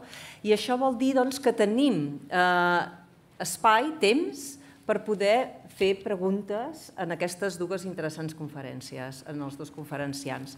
Per tant, eh, queda obert el torn de paraules per qui vulgui fer preguntes.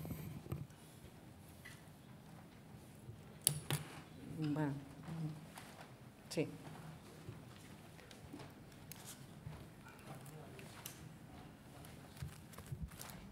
Eh, buenas, yo, bueno, yo tenía bueno, yo tengo muchas preguntas y, y, bueno, más o menos te voy a decir dos para no ser tan, tan largo. Es sobre, para José Luis García. La primera era básicamente que hasta qué punto la llegada del COVID ha provocado que Europa se dé cuenta de la necesidad de tener una buena política industrial. Y la segunda, eh, bueno, me, he escrito un texto, pero para resumirlo un poco, que hasta qué punto las innovaciones de Asia en, cuanto a la industria se deben por las políticas industriales y no tanto por los bajos sueldos y bajos costes empresariales que tienen estos países, porque sí que es cierto que con las políticas de, de expropiación e importación de Asia, pero también es cierto que los bajos sueldos de los trabajadores y las facilidades que las empresas tienen ahí en, en cuanto a producir son mucho más mejores y eficientes que no producir en Europa actualmente. Gracias. ¿Contestamos ahora? Sí, yo creo que... Pues me... Bueno, muchas gracias por las preguntas. Lo del COVID, bueno, eh, todos recordamos qué pasó con las mascarillas, ¿no? ¿Quién fabricó las mascarillas, no? Entonces, que no teníamos ni, ni, mascarillas. ¿eh? Entonces, ahí vimos un poco cuán desnudos estábamos, ¿no? Eh, de, de, una manera pues, pues, eh, muy evidente. Y no solamente mascarillas, también respiradores y todo lo que se necesitó durante aquella crisis. Eh, existía ya, de todas formas, un caldo de cultivo, porque el, el plan ese chino de 2015 eh, realmente causó una enorme preocupación, porque es un, es un plan realmente pues, eh, muy preocupante, ¿eh? muy preocupante y además eh, sabemos que los chinos son capaces de hacerlo, ¿eh? porque los chinos se saltan, consiguen todo lo que se proponen. ¿eh? Es una cosa increíble. les hemos hecho la vida imposible con Huawei, pues acaban de sacar un nuevo Huawei realmente espectacular. Entonces, quiere decir que ellos no, no hacen planes, eh, digamos, alocados, que, que, luego no se cumplen, como otros, ¿eh? no, no, vamos a dar nombres. ¿eh? Ellos, si dicen que lo van a hacer, lo, lo hacen. Entonces, ese plan de 2015, Made in China, en 2025, no falta tanto, pues eh, fue algo que, que, dejó muy preocupado a muchísima gente, ¿eh? muchísimos responsables políticos. ¿eh? Pero bueno, lo, durante el COVID, eh, pues ya digo, sobre todo, en fin, lo de las mascarillas, pues eh, fue algo que repercutió mucho en la opinión pública. Y luego lo de Asia, pues, pues eh, los bajos costes, bueno, eh, en realidad siempre se trata de aprovechar, digamos, una ventaja que tú tengas, ¿no? También lo, se aprovechó en España, digamos, eh, pero durante el franquismo, por ejemplo, eh, las cosas se hicieron bien. El automóvil, que conocemos bastante bien, pues algunos, Jordi Catalán sobre todo, pues se, optó, digamos, por eh, la solución difícil, ¿vale? que es ex exigir a, a, los fabricantes eh, contenido local. ¿vale? Entonces, eh, nada de ensamblaje, ¿eh? Porque bueno, si te quieres aprovechar de los bajos costes, pues te dedicas al ensamblaje y así pues, no se industrializa. Aquí lo cierto es que eh, pues desde luego yo no voy a defender a Franco, ¿eh? una dictadura, ¿vale? En absoluto. Pero, bueno, eh, hay que entender que hubo, pues, en, las áreas económicas, sobre todo, gente muy seria, que, que, bueno, pues hicieron las cosas bien, con ambición, y entonces, bueno, a partir de ahí, pues hubo industrialización. Digamos que el, lo de los bajos costes puede ser una ventaja aprovechar, ¿eh? pero si no tienes una política industrial, como por ejemplo se tuvo en España ¿eh? en esos años, o la han tenido los asiáticos porque nunca jamás han renunciado a las políticas industriales, ¿eh? pues ahora nos quieren convencer algunos incluso de, lo, de lo, más increíble. Esto lo debato yo mucho con Gabriel Tortella. Gabriel pues, está empeñado últimamente en decir también que, que, lo que, los chinos han tenido éxito porque han hecho caso a Milton Friedman, por favor. Milton Friedman estuvo por allí ¿eh? y eh, no le hicieron ni caso. ¿eh? Y esto además está ya estudiado. ¿eh? Entonces, eh, pero lo que ha ocurrido allí tiene mucho que ver con la persistencia de las políticas industriales. ¿vale?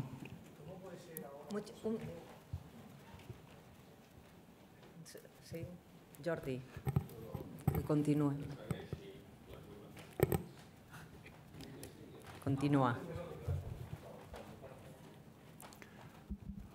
Y ahora podemos competir con Asia con unos costes de trabajadores elevados, porque si intentas competir en eficiencia, deberías bajar los costes salariales.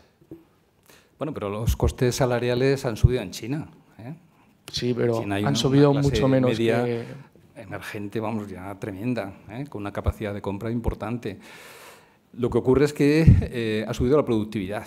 ¿eh? Es decir, si, si, tú subes la productividad, puedes subir los salarios. Lo que no puedes hacer es subir los salarios si no subes la productividad. ¿eh? Son los economistas, eso es de primero de economía, ¿no? Entonces, y se cumple. Entonces, uh, pero si subes la productividad, ¿no? y es lo que se está haciendo. Sí. ¿Yo?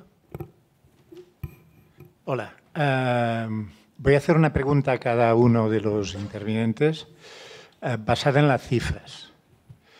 Uh, la primera pregunta es sobre los costes reales aplicados a la industria nuclear.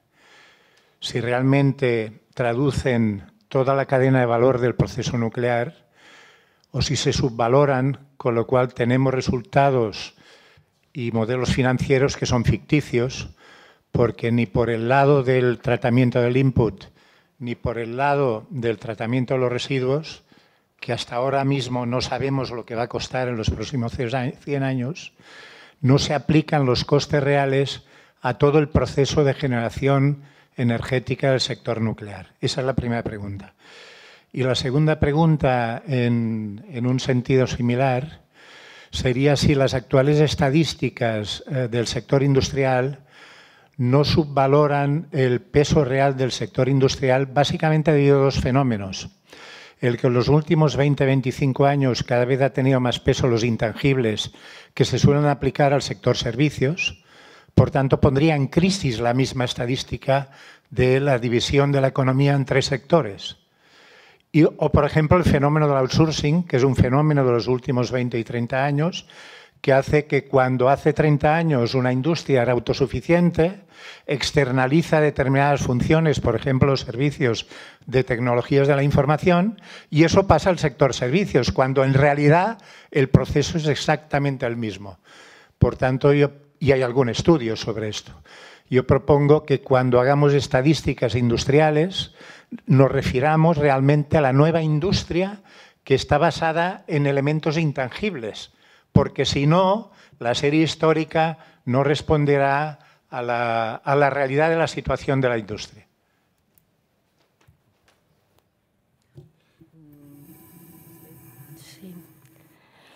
Muchas gracias por la pregunta. Bueno, muy brevemente, eh, no sabemos los costes, ni, los sé yo, ni no sé si alguien lo sabe. ¿no? el sector nuclear se caracteriza por ser, por un lado, un sector muy opaco y, por otro lado, un sector muy ramificado.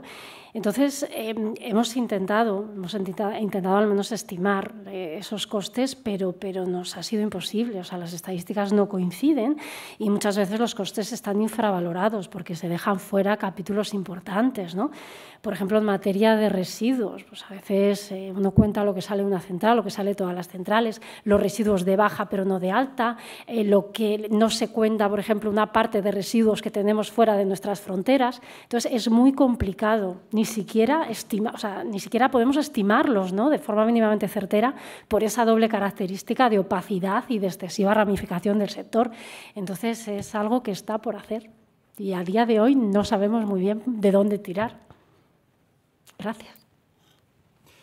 Sí, no, estoy de acuerdo en que la cosa se ha complicado muchísimo, porque claro, está todo el tema de las cadenas de valor también, eh, aparte de los servicios a las empresas, en fin, todo eso complica mucho las estadísticas, pero bueno, yo en particular no me dedico a hacer estadísticas, sino bueno, a coger estadísticas de fuentes como Unido, por ejemplo, ¿no? que se supone que tienen en cuenta todas esas consideraciones y, en fin, eh, las ponen al servicio de los usuarios. ¿no? Pero, pero sí, efectivamente, estoy de acuerdo que hay que tener un poco de cuidado ¿eh? por, todo eso que, señalas. ¿no?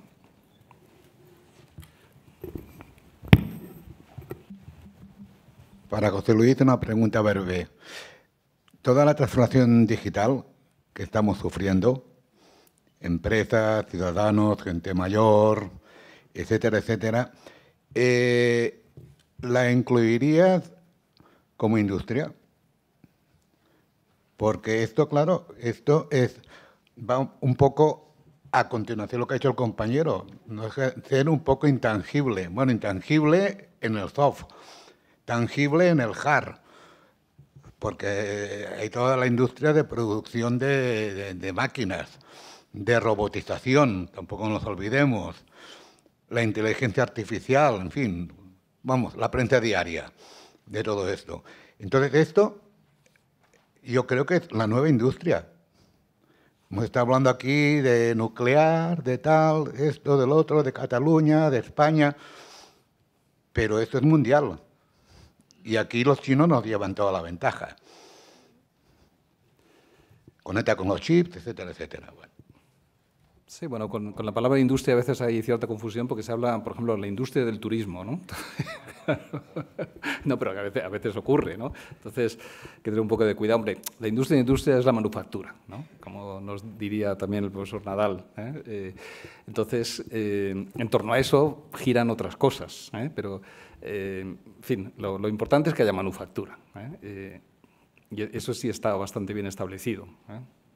Bueno, muchas gracias. Uh, no tenemos más tiempo, tenemos que cumplir. Okay. Eh, una cosa, Esther Sánchez. Eh, bueno, se ha hecho un balance así sobre la cuestión nuclear bastante equilibrado, digamos, ¿no? con aspectos a favor y en contra, destacando la cuestión de la innovación tecnológica.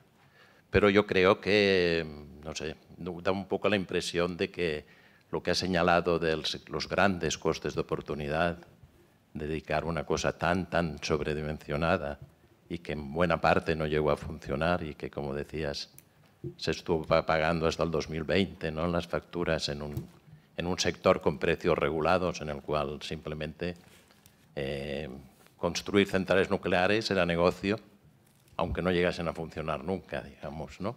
el negocio realmente era construirlos porque luego en los precios se garantizaba recuperar todos los costes, digamos. ¿no?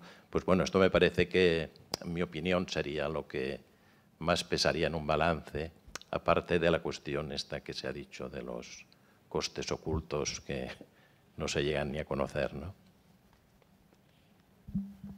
Tengo nada. Sí, lo más breve posible. Más breve Gracias. Uh, sí, no estoy de acuerdo. Simplemente, a ver, en realidad, si la construcción de reactores al final no fue un buen negocio, ¿no? O sea, acabamos rescatando, yo creo que fue un rescate a las eléctricas, lo que al final tuvimos que hacer de tanta deuda acumulada. Pero sí que he querido insistir también en, en, en esa faceta del sector como sector tractor, ¿no? En esas externalidades positivas que se generan, en esos spillovers que al final eh, están presentes en buena parte del, sector productivo. O sea, si uno estudia lo derivado de la nuclear, te encuentras con procesos de automatización que proceden de lo nuclear, te encuentras con, no sé, cuestiones como nuevos materiales de construcción, como a transporte de mercancías peligrosas, eh, cuestiones relativas a la robotización, cuestiones relativas a estándares de calidad. Entonces, buena parte de eso o sea, pasa muy desapercibida esa herencia, pero rastreando un poco puedes verla, ¿no? que son empresas que nacen o, se modifican al calor de lo nuclear y que luego es algo que aprenden cuando iban a hacer reactores y que cuando paran los reactores uh, lo siguen teniendo. ¿no? Ese aprendizaje se queda y de ese aprendizaje se benefician muchos más sectores. Entonces yo creo que es una de las cosas que hay que resaltar, ¿no? es verdad, en ese balance que he intentado hacer un poco ecuánime, dentro de los aspectos positivos, que yo creo también hay aspectos positivos de esto, pues es uno de los, de los que quería seguir insistiendo ¿no? o he intentado insistir. O sea, es cierto que lo de los reactores al final fue un mal negocio, pero creo que no hay que perder de vista estas externalidades, este papel de lo nuclear como sector tractor con un amplio efecto arrastre. Bé, doncs ara sí, moltes gràcies a tots els que heu fet les preguntes. Ho hem de deixar aquí perquè si no, eh, no complirem eh, les pautes. Fem un descans de 15 minuts, val? A, les, a 10 minuts per les 6 eh, reiniciem. Ah, perdó, re, 10 minuts per les 7. M'he saltat una altra.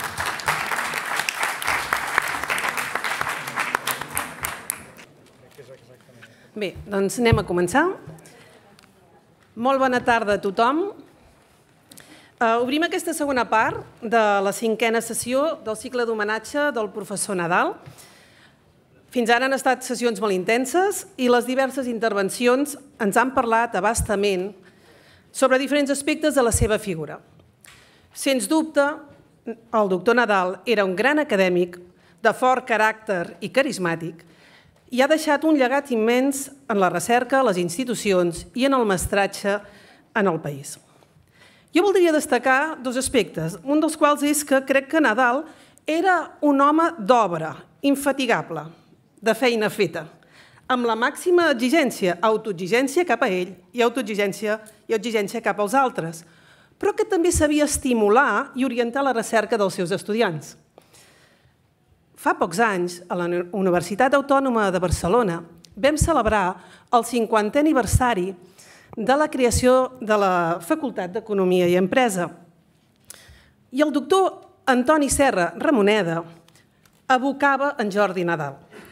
De la mà, i el recordava, de la mà de Joan Cerdà, construint la nova facultat on calia cercar els millors acadèmics i on calia, on calia dissenyar i definir les matèries prioritàries. Quan va acabar, a començaments de la dècada dels anys 80, no satisfet amb tota la feina feta, la immensa feina feta, se'n va i va retornar a la Universitat de Barcelona. I allà va eh, reformar de dalt a baix el Departament d'Història i Institucions Econòmiques. Així era en Nadal, era un home d'acció. En, en segon lloc, també voldria dir que personalment d'ell m'impressionava la seva veu profunda, que era clara i greu, que desprenia seguretat i autoritat. Cap a l'any 1990, va, en el marc del doctorat d'Història Econòmica de la Universitat Autònoma de Barcelona, va venir a fer la conferència inaugural de, eh, sota la mà del doctor Jordi Maluquer de Motes. El títol de la conferència era la primera revolució tecnològica a Catalunya. Era una, era una temàtica que ell havia fet cursos, que coneixia, però tenia també, eh, tenia també eh, el costum de fer certes improvisacions i, per tant, les conferències mai eren exactament idèntiques. En, aquestes, eh, en aquesta ocasió me'n recordo que enmig de l'exposició va exclamar «Recordeu la màquina de cosir?» La màquina de cosir va ser més important per les dones catalanes al segle XIX que no pas el treball al tèxtil. No sé per què em vaig sentir interpel·lada. Potser perquè era de les poques dones que llavors ens doctoràvem o fèiem el doctorat en Història Econòmica o tal vegada perquè en aquells moments estudiar el treball de les dones era fer recerca en femení. Fos com fos, d'alguna manera, m'agrada pensar que la meva recerca cap a la indústria del gènere de punt, a camí entre el tèxtil i la confecció, és també d'autora del seu mestratge. Dit això, abans de donar pas a la següent intervenció de l'acte, em plau, em plau molt introduir-vos al doctor Albert Carreras d'Eudirzola. Doctor en Economia i professor catedràtic d'Història i Institucions Econòmiques per la Universitat Pompeu Fabra. D'ell voldria destacar diferents perfils, tot diferenciant el que és docència, el que és recerca i el que és gestió. En l'àmbit de la docència, destacaria que ha estat singular el fet de que ha impartit docència a les tres principals universitats públiques catalanes, a la Universitat Autònoma de Barcelona es va formar. Va fer la tesi dirigida pel doctor Nadal i va fer les seves primeres classes. Després va marxar a la Universitat de Barcelona i després d'un lapsus que després comentarem, va acabar fent la seva llarga carrera acadèmica a la Universitat Pompeu Fabra. Això és excepcional, no sol passar. La seva vocació docent és tan àmplia que l'ha portat, per exemple, a escriure, juntament amb Xavier Tafonell, el Manual de Referència a Història Econòmica d'Espanya, que s'utilitza a tot l'estat espanyol i també s'utilitza, perquè hi ha una versió anglesa, a altres, eh, països, eh, altres països del nostre entorn. Eh? És el llibre El imperio y la globalización, història econòmica de l'Espanya contemporània. A l'estranger va estar també inicialment a la Universitat de Califòrnia, a Berkeley, i durant cinc anys, durant cinc anys va ser professor de l'Institut Universitari Europeu a Florència, on, de fet, durant dos anys va ser director del Departament d'Història i Civilitzacions. Per tant, va emprendre molts cursos nous, va dirigir tesis doctorals i, per tant, va portar una, una, uns anys d'una intensa activitat acadèmica. I més recentment ha estat a la Universitat de Georgetown a Washington. Eh? Això és només un petit extracte perquè, lògicament, els cursos, les conferències que ha donat arreu són molt importants. En l'àmbit de la recerca, anem a pams. A l'àmbit de la recerca es comptabilitzen eh, la seva obra inclou més de 152 contribucions, això data de gener de 2021, ara seria més, de les quals 19 són llibres i 133 són publicacions diverses en forma de capítols de llibre, d'articles, de mm, working papers, tant fets en català, castellà, italià, francès o anglès. Les temàtiques de recerca que ha desenvolupat són molt àmplies i els resultats d'investigació han obtingut una gran projecció internacional. De la seva recerca destacaria tres aspectes. En primer lloc, que ha estat pioner en la construcció de sèries històriques d'Espanya, creant i impulsant l'elaboració de sèries estadístiques que és una eina fonamental per, tot, eh, per tots els estudiosos de la història econòmica. Ha treballat en la construcció de les sèries estadístiques històriques, inicialment en l'àmbit de la indústria, però després ho ha fet en l'àmbit dels serveis, en l'àmbit de l'energia, en l'àmbit dels transports, a la inversió, entre d'altres. Com a resultat de la recerca, destacaria per la seva importància la codirecció d'una obra de tres volums, gruixuts, que és les estadístiques històriques d'Espanya, de les quals s'han fet a diverses edicions, la darrera de 2005. En segon lloc, també destacaria de la seva recerca que predomina la visió a llarg termini i la clara vocació comparativa, tant a nivell de països com a nivell regional. Essent, sobretot, la comparativa amb Itàlia, suposa pels seus anys a Florència, una de les més recurrents i també perquè el cas espanyol eh, lliga molt bé amb la comparativa amb Itàlia.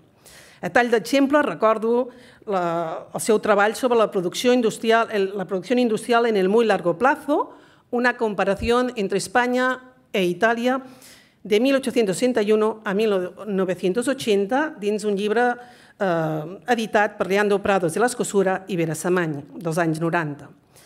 La seva producció internacional denota també una gran capacitat de treballar en coautoria, en diversos acadèmics i en temàtiques àmplies. En tercer lloc, de la seva recerca, també eh, voldria esmentar que, fruit de la seva participació en projectes europeus sobre bases de dades de la gran empresa a Europa, va ser la contribució en el llibre The Performance of European Business in the 20th Century, de l'any 2016. La seva recerca ha merescut diversos reconeixements, com el Premi a la millor tesi doctoral, inicialment, el Premi Jaume Vicenç Vives, el Príncipe d'Astúries i el Premi Joan Cerdà.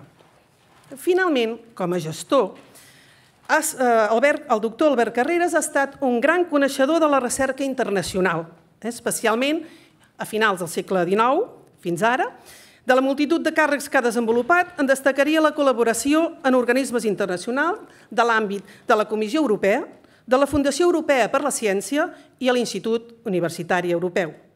Ha estat membre de societats científiques com la European Business History Association, secretari general de l'Associació d'Història Econòmica, entre molts altres, així com membre del Consell de Redacció de nombroses revistes catalanes, espanyoles i europees i internacionals. Però el doctor Albert Carreras té una altra particularitat. Ha estat capaç d'anar molt més enllà de l'àmbit acadèmic i implicar-se en la gestió pública per vocació de servei al país. El llibre, i per tant, en la seva tasca desenvolupada com a secretari del Departament d'Economia de la Generalitat de, de Catalunya, va fer un llibre, conjuntament amb el professor Andreu Mascolell i Ivan Planes, que té un títol ben explícit, Turbulències i tribulacions, els anys de les retallades. Tot seguit el doctor Albert Carreras ens parlarà dels desequilibris de les pautes d'industrialització i llurs conseqüències. Quan vulgui, doctor Albert Carreras. Moltes gràcies, Montse, molt amable per aquesta llarga i potser exagerada introducció.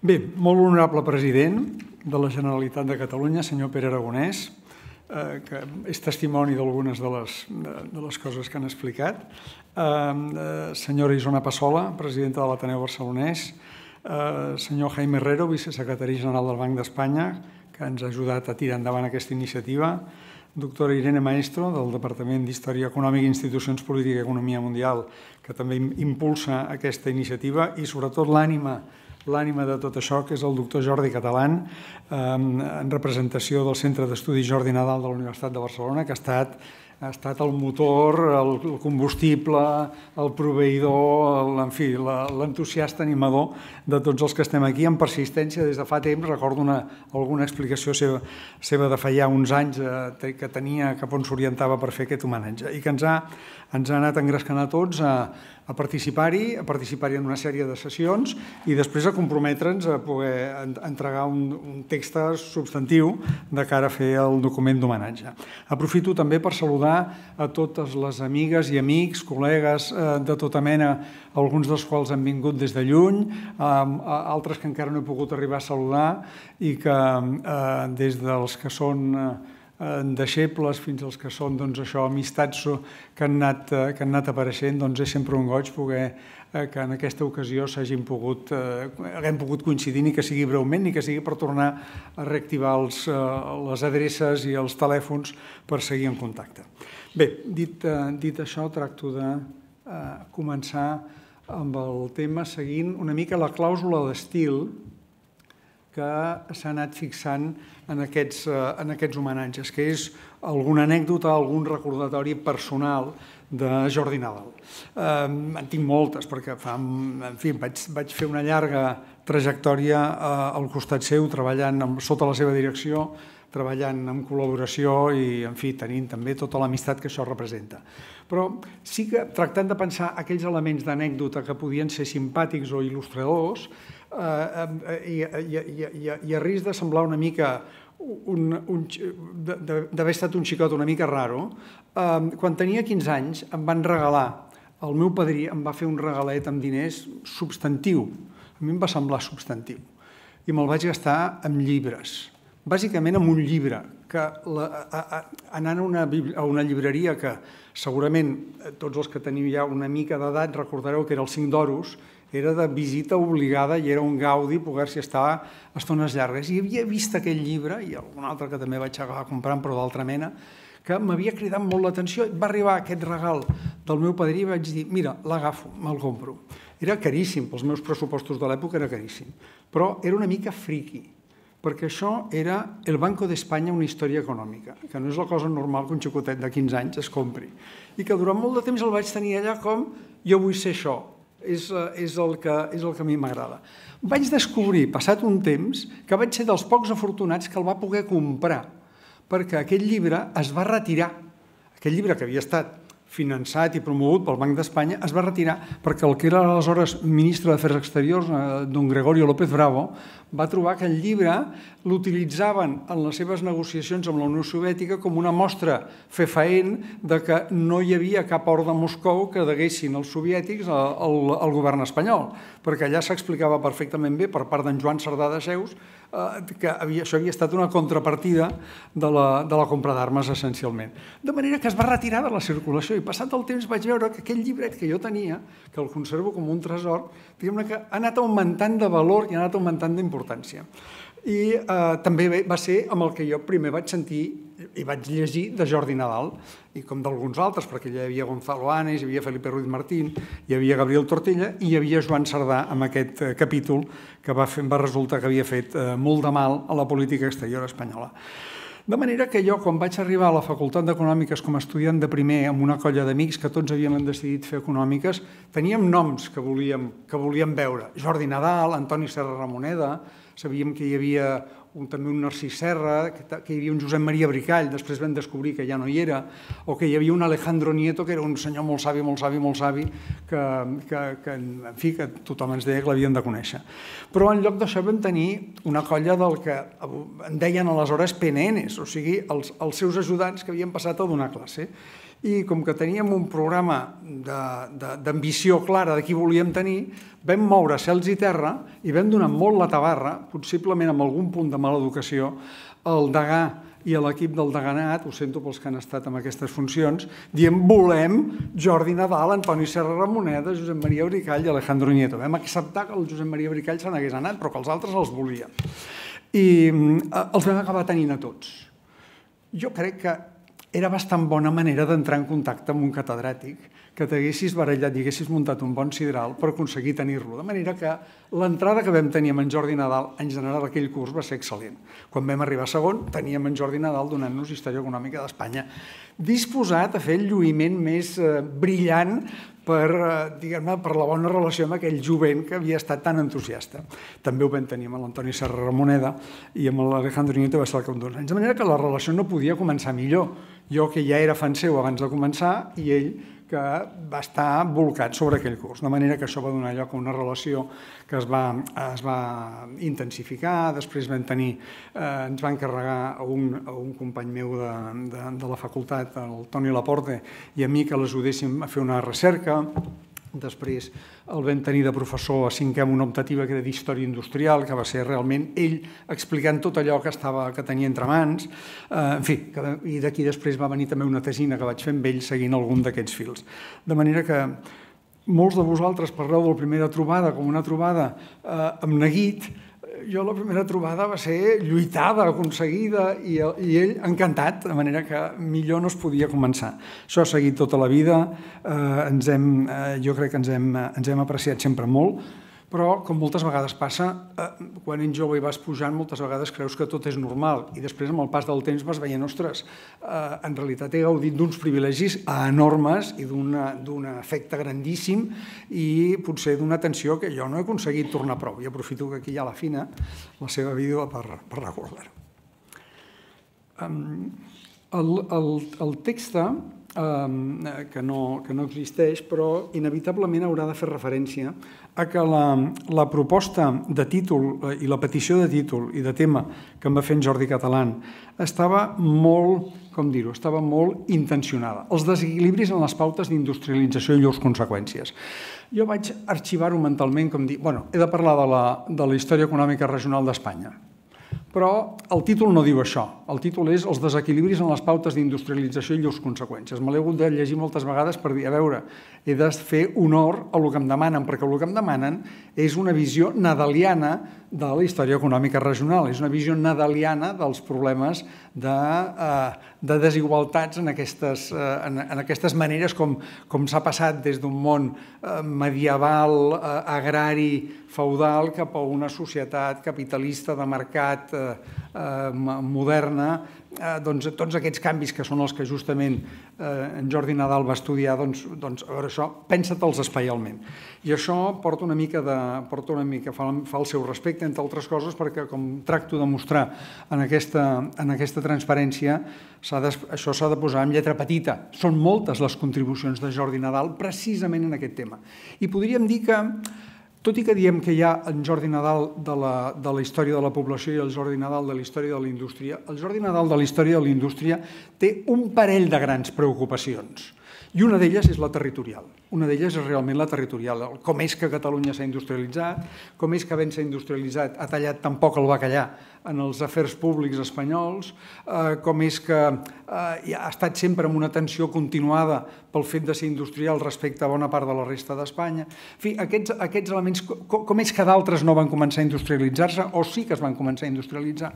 Jo diria que la pulsió eh, a, a, a trobar l'explicació d'aquests desequilibris territorials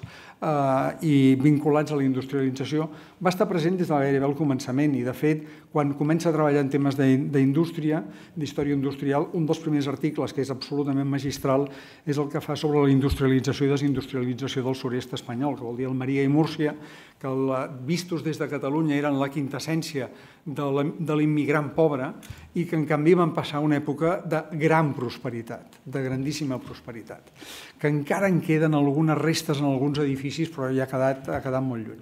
Aquest, aquest article publicat el 1972 va produir un gran impacte i ja demostrava una mica pràcticament bona, bona part de les tesis que tenia, que tenia el CAP i que s'havien anat fent enfrontant-se a les sorpreses d'anar gratant per on hi havia eh, inicis d'indústria a Espanya, també tenint en compte quina havia estat la indústria a la resta del món com el següent, de la manteca, el hierro i el zinc, la industrialització estudiada de 1850 a 1935.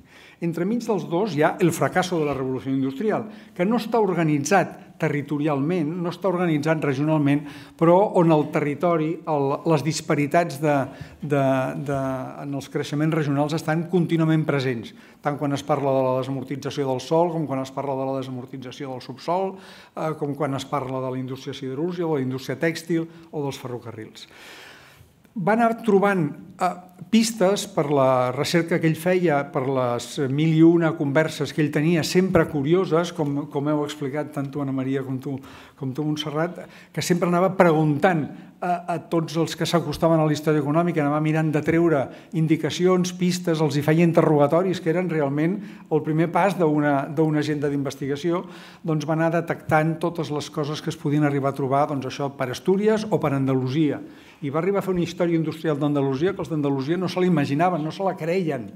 i la van haver de reaprendre re, eh, a través dels seus, del seu mestratge i per això allà també li tenen una enorme devoció. Uh, un cop va fer això, va veure, bueno, però jo també tinc una història per explicar, que és la meva, que ell sempre diu als historiadors econòmics, si tenim alguna vocació d'historiadors és perquè tenim a explicar una història que és la nostra, i si no t'interessa la teva, malament rai. Llavors va dir, jo vull explicar la meva, o sigui, la industrialització de Catalunya.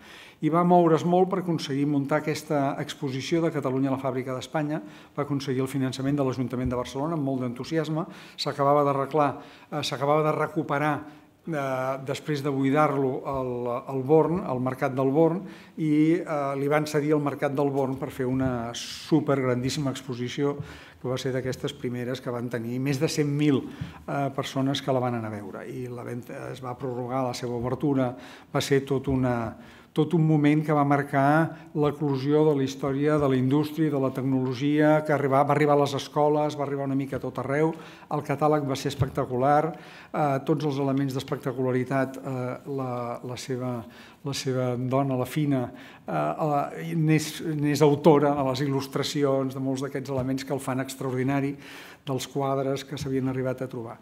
I eh, ell va fer una, una, una història compacta, densa, de la formació de la indústria moderna a Catalunya. I va acabar amb un balanç de poques pàgines, tres pàgines, és veritat que de gran format, sobre Catalunya, la fàbrica d'Espanya, una síntesi. I allà va plantejar una visió de conjunt dels problemes dels, eh, de les desigualtats en la trajectòria eh, d'industrialització a les diverses regions espanyoles. Ho va fer a través de mobilitzar fonts noves, que era una de les coses que jo crec que més li agradaven i li divertien, que era trobar fonts noves per, per entrar a l'estudi d'alguns temes i en el seu cas va descobrir l'aprofitament que es podia fer de l'estadística de la contribució industrial i agafant des del primer exemplar eh, que existia imprès, que era el de 1856, fins a un punt que li va semblar un final adequat, que era 1900, va començar a treballar durant anys i anys i va publicar aquest altre article de la indústria fabril espanyola el 1900, una aproximació que ha estat com molts dels ponents que han passat per aquí han explicat, han estat el que els hi va donar l'agenda de recerca. Aquí ens han vingut ponents que ens han explicat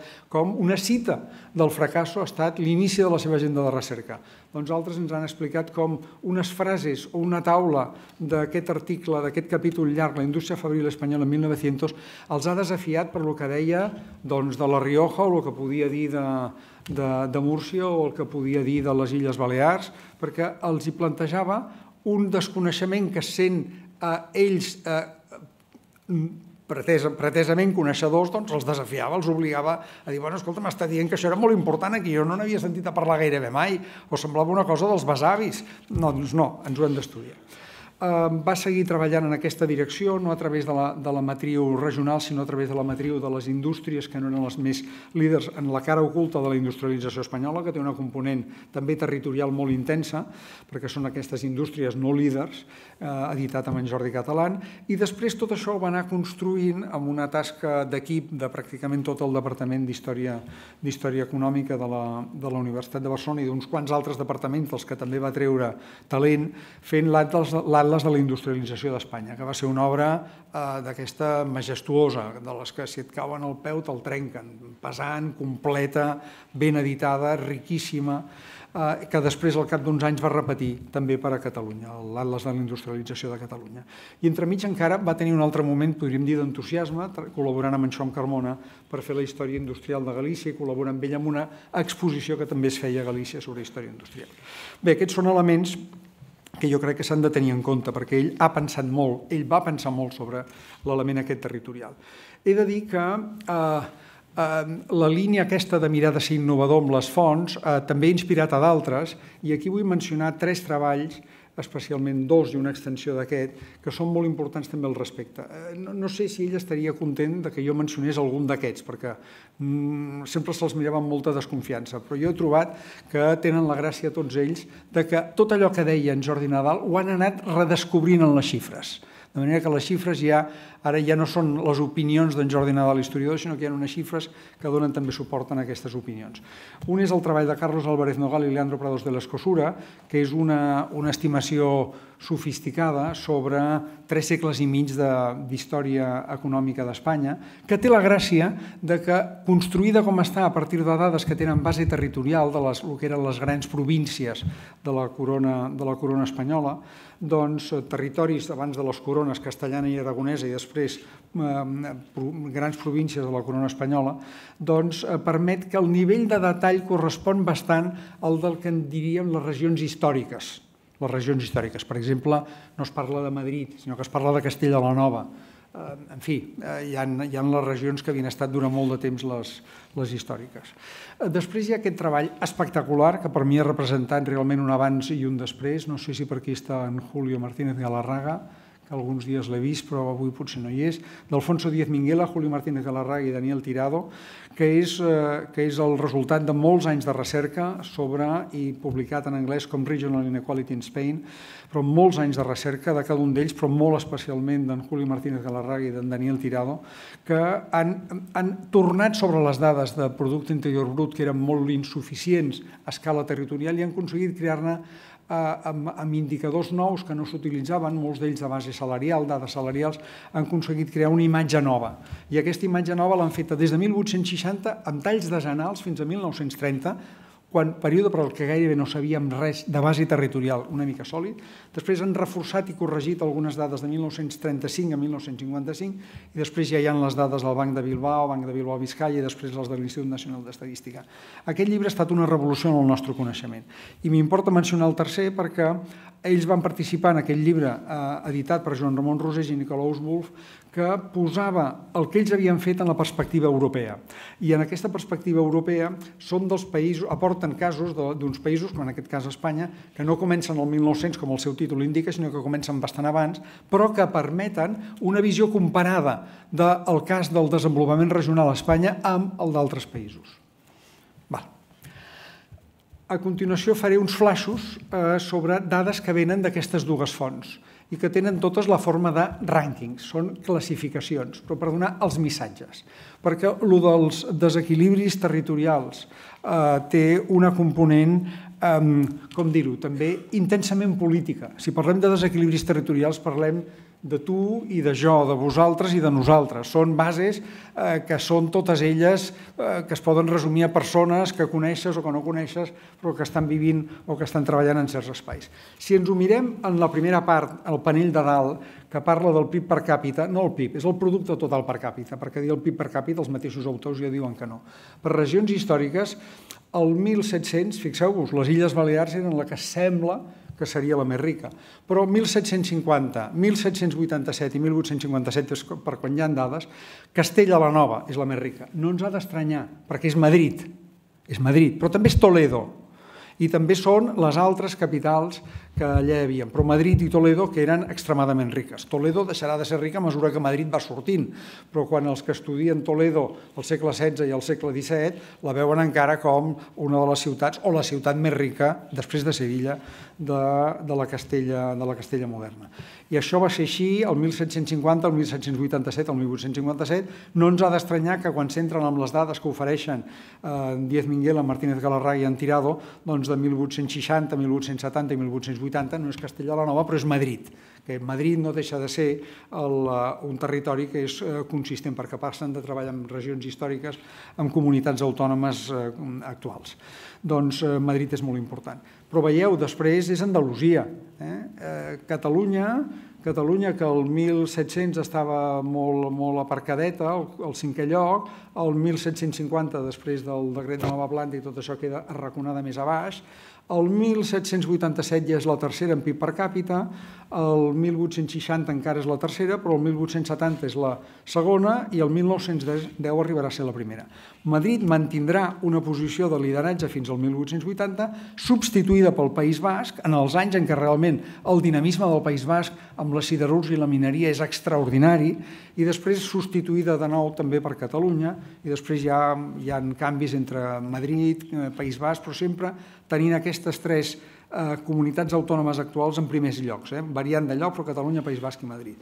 I les altres per darrere, tot i que algunes recordant-nos la seva prosperitat. Les Illes Balears en aquestes sèries històriques apareixen sempre com d'un gran nivell de prosperitat en períodes bastant més antics. La sèrie també la, aquí la proposo, però passo molt per sobre, però dona algun flash des de les, tota l'agafant en uh, aquest, uh, aquests autors uh, Díaz Minguela, eh, Martínez Galarraga i Tirado des de 1860 fins al 2015, amb molts més detalls a partir del 1930, però que permet veure doncs, que primer hi ha Madrid, eh, després hi ha el País Basc, després hi ha Catalunya, després hi ha Madrid, però després, entre el 35 i entrat als anys 60, de fet fins a primers dels anys 70, és el País Basc qui sistemàticament és la comunitat autònoma, l'antiga regió històrica, amb PIB per càpita més alt. Reflexa de que el PIB per càpita és la productivitat de la, de la població, de la població treballadora, i això reflexa de nivells de productivitat molt alts que eren els d'una regió que tenia una intensa densitat industrial, més alta encara que la de Catalunya, on també hi havia àmplies zones eh, també agràries o de serveis però a partir d'un cert moment, a partir concretament de 1975, les primeres, eh, les primeres regions ja comencen a ser d'altra mena. Les Illes Balears passa a ser la primera en PIB per càpita i a partir de l'any 2000 ja ho és bàsicament Madrid. És per, per mostrar que apareixen sorpreses. Les Illes Balears, apareixen, eh, apareixen també doncs, eh, València, que havia estat important i que va perdent força en el PIB per càpita, però si no és el triangle gairebé sempre de eh, Madrid, País Basc i Catalunya. Com que la mida importa, això perquè doni un sentit de els impactes territorials i els desequilibris territorials, s'ha de tenir en compte que s'ha de multiplicar per la població i això ens dona el PIB. I aquí tenim una idea del PIB. I en aquesta visió del PIB, amb les últimes dades disponibles, tenim que Andalusia, 1.700, 1.750, 1.787, 1.857, 1.860, canviant de font, i 1.870, i fins a 1880 i 1890, o sigui, al segle XVIII i al segle XIX, Andalusia seguia sent la primera per PIB de eh, totes les regions històriques espanyoles o del que avui en dia encara serien les comunitats, eh, les comunitats autònomes. Aquí utilitzo eh, també les regions històriques perquè utilitzo Castella la Nova per poder comparar abans de 1860 i després de 1860. Després de 1900 és Catalunya i després de 1900 és Catalunya en realitat fins al 1975, eh, si es compara amb Madrid i Castella la Nova, fins més enllà si es compara només amb Madrid. Però d'Andalusia segueix Catalunya. És a dir, la dimensió per la capacitat d'arrossegament d'immigració que ha tingut ha estat tal que Catalunya ha arribat a, a, a superar Andalusia tot i tenir molta menys població. Això no vol dir que les altres hagin desaparegut ni molt menys. Andalusia anirà perdent importància però mai sortirà del segon o tercer lloc. I Madrid i Castella la, i Castella la Nova, que, que s'assemblarien al que avui seria doncs, eh, eh, Madrid i, i Castilla-La Manxa, doncs, eh, es mantenen sempre en posicions també extremadament importants fins a 1935. En canvi, Castella la Vella, Castella la Vella i Lleó van perdent importància al llarg del temps. Quan això mirem amb una perspectiva que arriba fins a l'actualitat, és la seqüència d'Andalusia, Catalunya i Madrid i Castella la Nova, és a dir, l'antiga la, eh, Castella la Nova. Madrid i Castella-la Manxa, que és l'antiga Castella la Nova.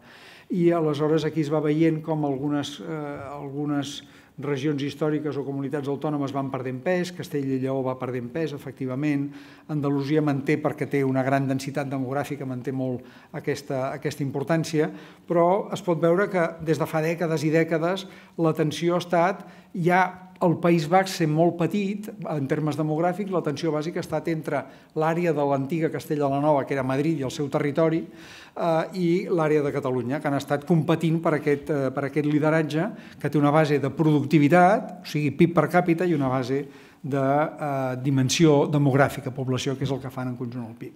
Madrid a base de serveis, Catalunya a base d'indústria, de manera que són desequilibris que tenen, a més a més, una forta diferència en l'especialització productiva. Un petit detall suplementari que té la seva gràcia ens el donen, també de nou Díaz Minguela, Martínez de Galarraga i, i Tirado, ens el donen perquè donen el detall per províncies i això és una riquesa que segur que en Jordi Nadal l'hauria entusiasmat perquè passar de les regions que tenen sentit a les províncies és un nivell de detall molt més gran. Ja no és parlar d'Andalusia, sinó què passa a Almeria o què passa a Cádiz, què passa a Huelva o què passa a Còrdoba. Eh, doncs el mateix amb, Bisca, amb, amb Biscaia, Guipúscoa i, i Àlava, o el mateix doncs, amb, a, a Catalunya doncs, amb Barcelona, Girona o Tarragona, que en termes de PIB per càpita des d'un cert moment competeixen de manera molt aferrissada. Doncs el primer tall que ofereixen eh, en Martínez Galarraga, en Martínez Galarraga i, el seu, i el seu equip eh, és Cádiz la primera, el 1860, però la tercera Granada i la quarta Màlaga. És a dir, que aquella Andalusia que en Jordi Nadal va estudiar com que havia tingut un passat industrial recent, de la primera industrialització, sí que era autèntic. Havia arribat a tenir no només les riqueses procedents d'Amèrica, que ja no arribaven en aquell moment, sinó que havia arribat a tenir prou elements de dinamisme industrial com per tenir tres províncies entre les més riques en aquell moment, on segurament les indústries alimentàries i les mineres eren molt importants. Encara el 1870 hi ha Cádiz, Granada i Màlaga, en tercera, quarta i cinquena ocasió, i després ja surten alguna vegada, però ja pràcticament mai més, Cádiz el 1910. De manera que en algun moment Andalusia perd el, eh, perd el camí aquest de la industrialització, és bastant clar en quin moment és i és justament per això que un dels capítols de, de Jordi Nadal s'orienta en aquests avortaments que ell diu de la, de la industrialització andalusa.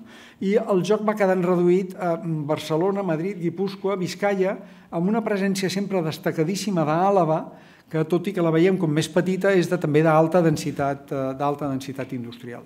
I això fins a 1935, fins al període de la, de la primera eh, gran onada industrialitzadora, fins a la, fins a la guerra, doncs eh, són els protagonistes de manera molt clara i amb competència molt aferrissada entre tots ells. Hi ha unes xifres que demostren que el nivell de PIB per càpita que tenien en relació a la mitjana espanyola era altíssim. Estem parlant del 1900, 2,54 a Barcelona, 2,54 vegades el PIB per càpita espanyol, o Vizcaya o 88, o, o perdó, el 1900 Guipúscoa 2,45, dos vegades 45, el 1920 Barcelona 2,81. Segons els estudis ja amb tota aquesta sistemàtica de Díaz Minguela, Martínez Galarraga i, i Tirado, que fan una anàlisi de la desigualtat entre les províncies espanyoles, eh, el que ells demostren és que entre 1860 i 1920 la desigualtat va anar augmentant de manera bastant clara i contundent. Reflexa de que es van produir brots d'industrialització, alguns d'ells molt poderosos, que van fer que una part del país es va desenvolupar i altra no. A partir de 1920 cap endavant, entre 1920 i 1930, el que van documentant és que la industrialització es va difonent, i bé sigui per migració, bé sigui per osmosi, perquè hi ha més províncies que fan indústries com les que fan a Catalunya, al País Basc o a Madrid, doncs aquestes van, van produint un procés d'igualació progressiva. I després diuen que a partir dels anys 80 ja no hi ha un procés que es pugui distingir clarament ni de, eh, ni de, diferenciació ni d'unificació.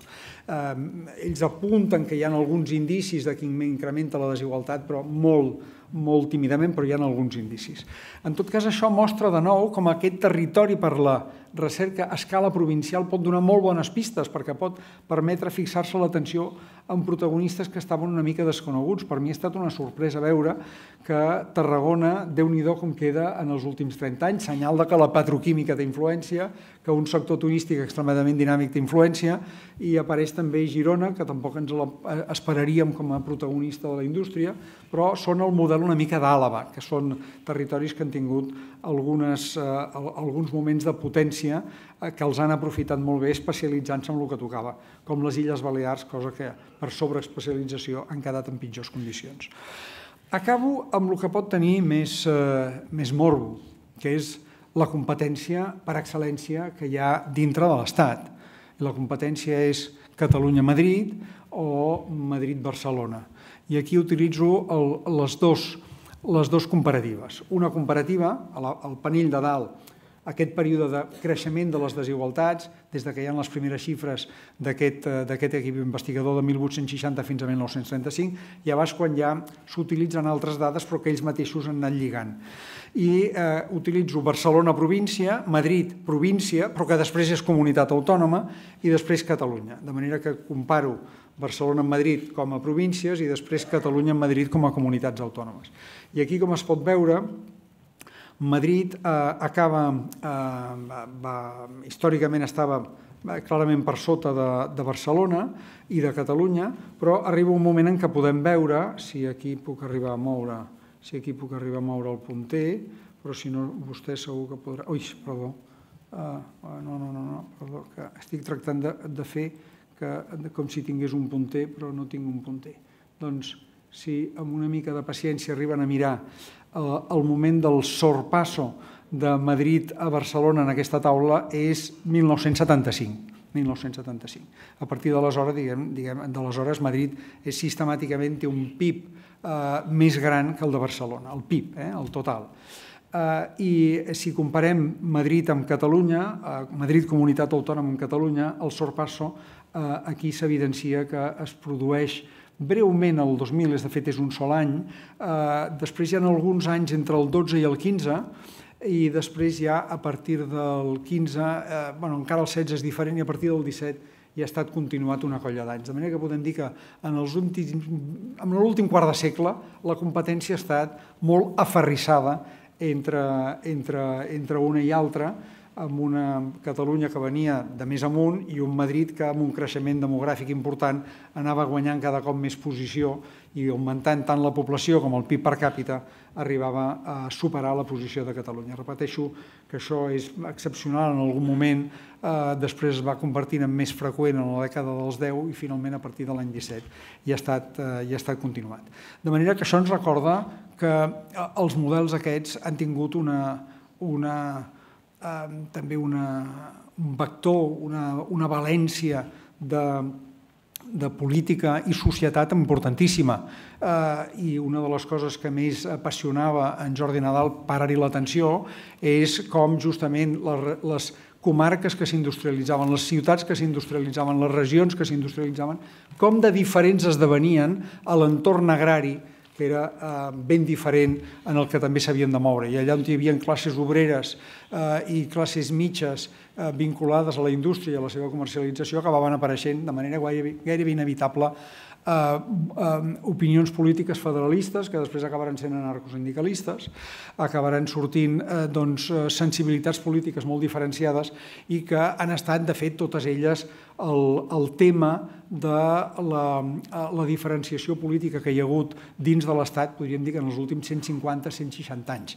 El fet de que haguem celebrat ara el 150 aniversari de la Primera República ens recorda que això ja aleshores ja portava unes dècades de, de, de trajectòria de diferenciació de sensibilitats polítiques que esclataven de manera molt, molt espectacular a la que hi havia la possibilitat de poder fer un sufragi universal, fos només masculí primer, després masculí femení, fos només a partir de 25 anys o a partir de 18, però que l'expressió de, dels, eh, dels sentiments i orientacions de cada, de cada una d'aquestes àrees, aquí representades en Barcelona i Madrid, però en fi, és, hi ha molts altres racons d'Espanya de, que poden representar aquesta divisió, han estat sempre molt, eh, molt espectaculars. I crec que aquesta finestra cap a la història social, cap a la història política, cap a la història de les cultures, en Jordi Nadal sempre li havia interessat i crec que és una de les herències i dels deures i dels desafiaments que ens deixa.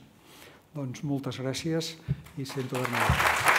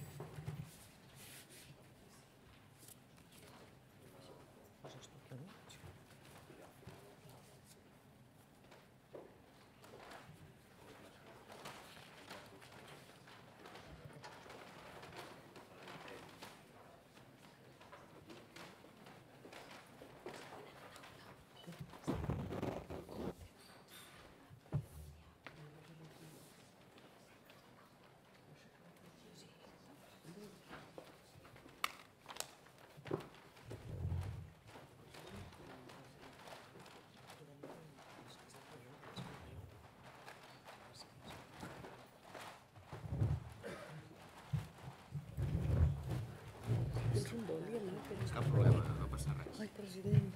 No passa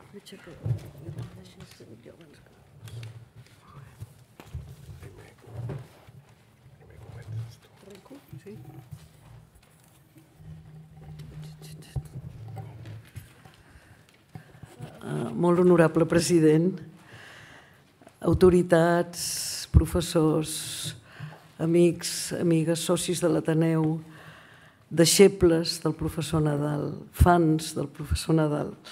Avui acaba un cicle d'història en homenatge a Jordi Nadal de cinc sessions que ha estat un èxit. Nadal és un prohome a Catalunya, però la seva influència de passar a l'àmbit català i així ens ho han explicat els historiadors vinguts d'arreu del món que l'han homenatjat aquí a l'Ateneu. Per una presidenta de l'Ateneu és una satisfacció veure que la sala d'actes s'ha omplert, que el tema desperta interès i que els visionats per internet han estat molt elevats. Una satisfacció addicional és veure com els espectadors que hi ha hagut entre el públic són historiadors, economistes, científics, socials, de grandíssim nivell. Avui ens honora, amb la seva presència, el molt honorable president Pere Aragonès, en l'obertura d'aquesta darrera sessió del cicle. Sempre és un goig que el president de la Generalitat ens visiti. En aquesta ocasió ens fa especialment feliços, a més, que sigui ell aquí, perquè ell va excel·lir com a estudiant del màster d'Història Econòmica a la Universitat de Barcelona. Però allò que té més valor és que el nostre Ateneu hagi servit de pont entre una producció universitària al més alt nivell i la societat civil que representem i que fa gran la nostra raó de ser com a institució. També agraïm al Banc d'Espanya, al Centre Jordi Nadal, al Departament d'Història Econòmica de la Universitat de Barcelona, que ens hagin cobert les despeses d'allotjament i viatge de la vintena de ponents i que hagin obert una fructífera perspectiva de col·laboració entre institucions culturals, científiques i econòmiques com la nostra. Moltíssimes gràcies a tots.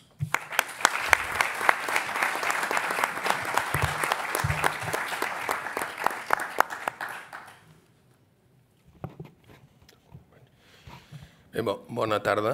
Eh, gràcies a tots els que ens heu acompanyat un dia més eh, d'aquestes cinc sessions eh, que, que ha durat aquest homenatge.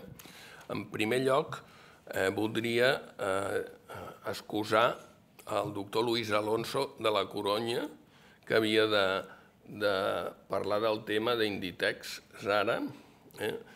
Eh, ell està malalt de Covid, eh? penseu que té 77 anys, eh? però no ho hem projectat, enviat al PowerPoint eh, enviat el PowerPoint, és a dir, que ha estat treballant amb el tema i hem pensat que ara projectar el PowerPoint no tenia sentit perquè anem curs de temps, eh?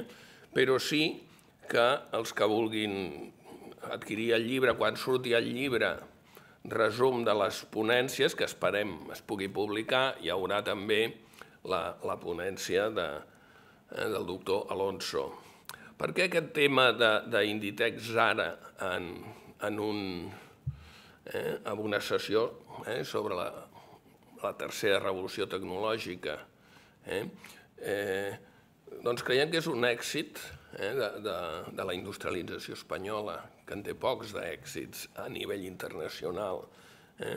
Penseu, doncs, des d'una botiga del final de la terra dels romans, del Finisterre, eh, aconseguir eh, eh, muntar un imperi productiu com és el de Sara amb botigues a tot el món és, és un gran èxit. Eh?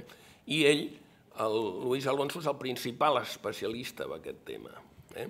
De fet, la gent que hem seleccionat en l'homenatge sempre han sigut persones que han escrit treballs pioners sobre els temes que s'han tractat. No hem pretès parlar de tot, en un país que doncs, hi ha tant periodistes i tertulians que són capaços doncs, de parlar, saben de tot.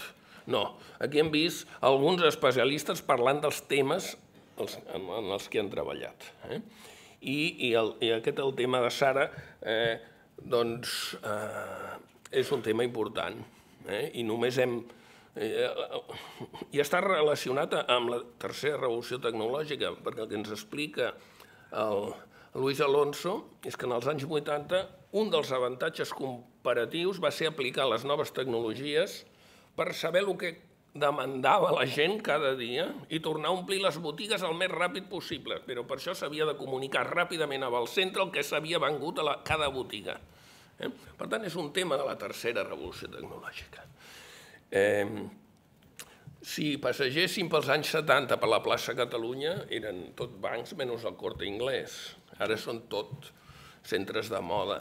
Per tant, és un tema molt contemporani eh? i per això està en el programa i lamentem i augurem que, que el doctor Alonso es posi bé aviat i que ens enviï a la seva ponència. Primera cosa que volia dir.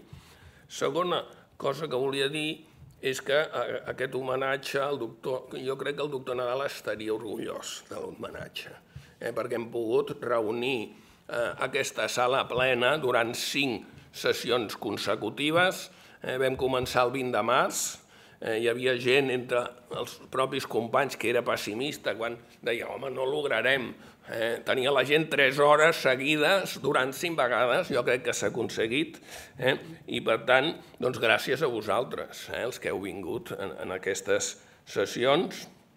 Eh, també han tingut un avantatge que estan enregistrades. Aquesta és molt bona política de l'Ateneu, eh, perquè eh, queda un patrimoni que que, que és universal. Eh? És, eh, tothom pot tornar a veure si s'ha saltat alguna, alguna de les sessions, ho pot veure. Eh? Hem vist doncs, de la, també algunes sessions ja han tingut 200 visualitzacions i alguna n'ha tingut 400, que està bé per gent que no som influencers. Eh? Ni, eh? Si ens comparem als influencers és una misèria, però per actes científics eh? jo crec que és tot un èxit. Eh? Per tant, podem estar molt contents. I a més hem assajat quelcom que ara el Congrés va darrere nostra, eh? que és poder fer els actes en català i en castellà, eh? en els que han parlat en castellà i els que han parlat en català i ens hem entès tots Eh? I per tant, amb això també hem sigut pioners. Eh? Bé, i la tercera, la tercera cosa que volia dir és l'agraïment, evidentment els que esteu aquí ens heu seguit aquestes cinc sessions, el molt honorable president de la Generalitat, que com s'ha dit eh, va ser mm, doncs, estudiant del nostre màster, eh, i moltes vegades em pregunta la gent era bon estudiant? Eh? Perquè hi ha, molta, hi ha molt dubte sobre els polítics. Sabeu que hi ha gent que la seva tesi de màster no ha aparegut. Altres que hi han trobat trossos de la tesi doctoral copiada. Eh? En el cas de, del molt honorable president, us puc dir que va ser un alumne brillant, un alumne d'excel·lent. Eh? Nosaltres fa eh, Fa tres decennis que fem el programa de postgrau, vam començar a principis dels anys 90. Jo calculava quanta gent haurà passat, uns 15 eh, per any, eh? Eh, durant 30 anys, uns 45. Ell jo crec que està entre els 10 millors dels que han passat, eh, que vol dir eh, 10 entre 450, el 2%. Eh? ell va destacar, ell va, és un èxit molt gran, eh, a més ell ve de, dret, que encara té més mèrit, eh, perquè allà competia amb economistes historiadors, va destacar per dos eh, virtuts, molt treballador eh, i amb gran capacitat analítica, fent sempre les preguntes importants. Eh, per tant, crec que estem en bones mans. Eh. También quiero agradecer al Banco de España eh, Eh, que nos ha apoyado financieramente. ¿eh? El Banco de España ha hecho, además de ser, bueno, su función principal era prestamista en, última instancia en la economía.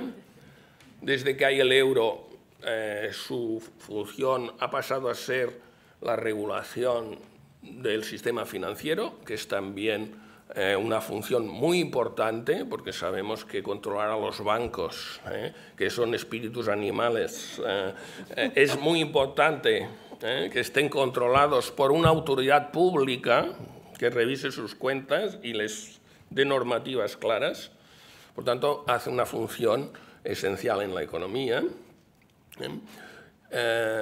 pero además ha hecho otras funciones, como nos ha explicado, el doctor Carreras, despertar vocaciones de grandes profesores. ¿eh? Esta línea de financiar la investigación de su programa de becas eh, ha sido una función muy importante para apoyar la investigación en un país que hay pocos centros de investigación.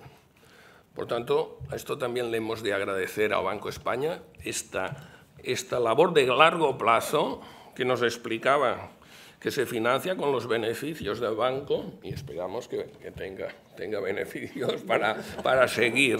¿eh? ¿Eh? Pero también quisiera decir, ¿eh? recordando al doctor Nadal, le gustaba la, la historia económica con cifras, como hemos visto, pero también con nombres, con los nombres de las personas. Y esto ya Jaume Vicens, su maestro también. Y el nombre de Jaime Herrero en el Banco España es muy importante para nosotros, porque ha sido una persona eh, de trato fácil, muy abierto, sin poner pegas, siempre buscando la colaboración. Por tanto, no solo es el Banco España, sino la persona de Jaime Herrero. Després, també voldria agrair a, a l'Ateneu Barcelonès, en la figura de la seva presidenta, doncs, que ha, ha sigut un àgora, i, i és un àgora per la ciutat, un àgora on ve tot tipus de gent cultivada i en aquest cas és un àgora que ha servit per fer transferència de coneixement entre els acadèmics i la ciutadania. Per tant, estem molt honorats i molt agraïts a l'Ateneu, a la presidenta. Hi ha una persona està aquí, el doctor Quimper Ramon, que ens ha molt. Eh? Una persona d'una curiositat intel·lectual eh, molt profunda i una eh, bonomia personal que ha fet que això també fos possible. Per tant, moltes gràcies, Quim.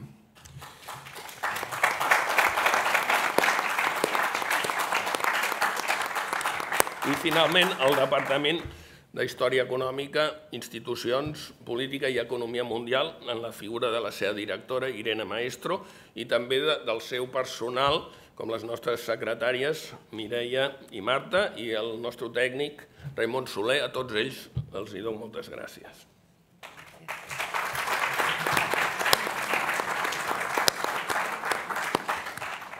Bé, eh, molt honorable president de la Generalitat, senyor Pere Aragonès, eh, senyora presidenta de l'Ateneu de Barcelona, Barcelonès, perdó,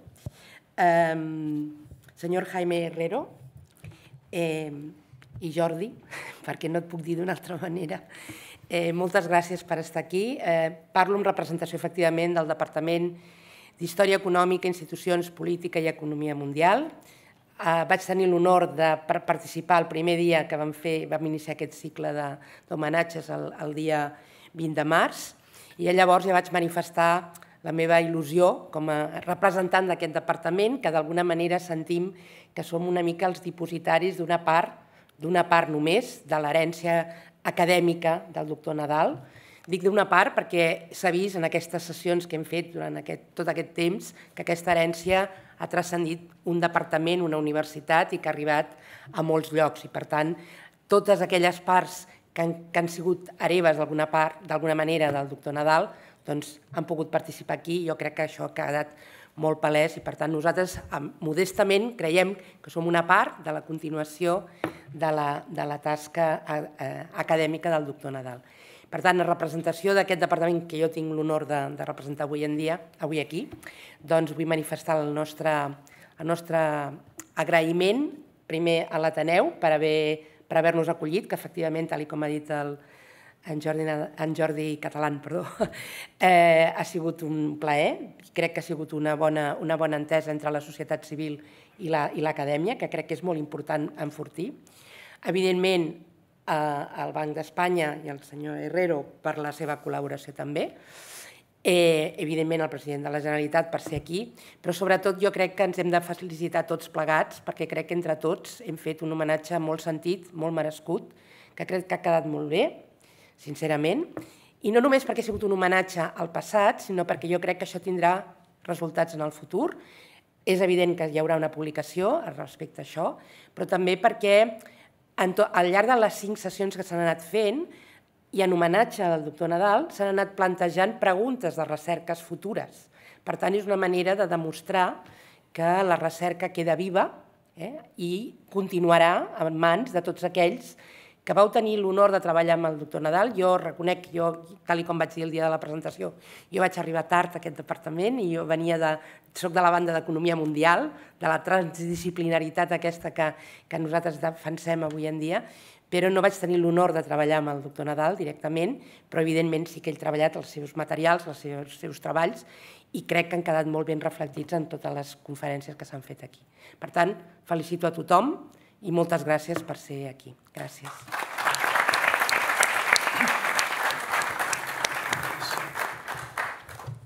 Eh, muy honorable presidente, señoras representantes, señores de distintas instituciones y señores participantes, eh, unas palabras muy breves en representación del Banco de España, fundamentalmente para incidir en algo que yo creo que también dijimos en la jornada inaugural, eh, agradecimiento a todos los organizadores, al Ateneo, a la Universidad, al Centro Jordi Nadal y en especial a Jordi Catalán, que ha sido el promotor, el impulsor de estas jornadas que nos han parecido enormemente interesantes porque además eh, se han organizado y se han diseñado de una forma yo creo que muy inteligente a través de, jornadas presenciales con una participación resaltable que luego se han podido seguir de manera virtual y que van a quedar para el futuro, para la historia, reflejadas en una publicación.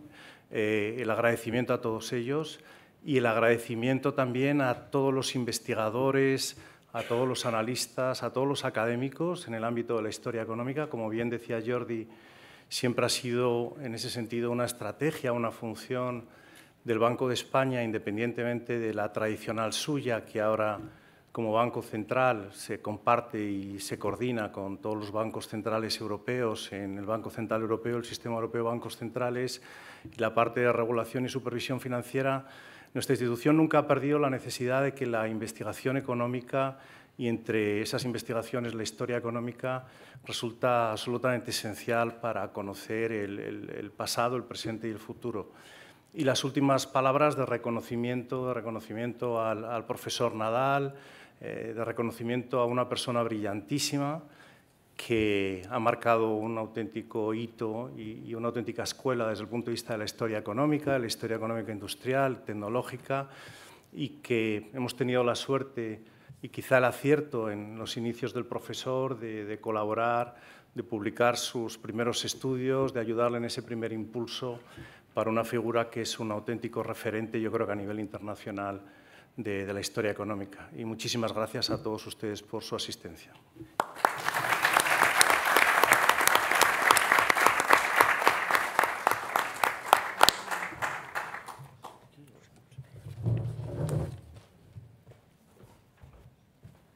Molt bona tarda a totes i a tots.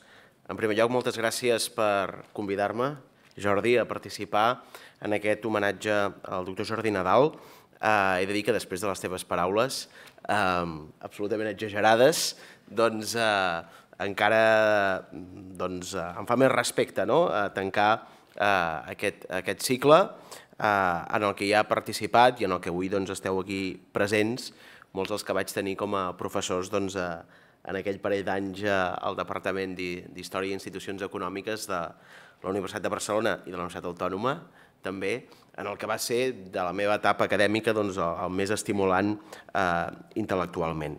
I és un honor avui doncs, poder participar en aquest cicle d'homenatge al costat doncs, en aquesta sessió de tancament, al costat dels representants del Banc d'Espanya, del propi Departament de la Universitat, de l'Ateneu Barcelonès, que ens acull i doncs, precedits per, a, per aquesta intervenció, aquesta ponència de l'Albert Carreras, aquí també eh, primer vaig conèixer llegint, eh, i després vam compartir doncs, a banda i banda de la taula en posicions diferents, però després tenint el repte de, de substituir-lo, no? substituir la seva tasca a la Secretaria d'Economia de la Generalitat.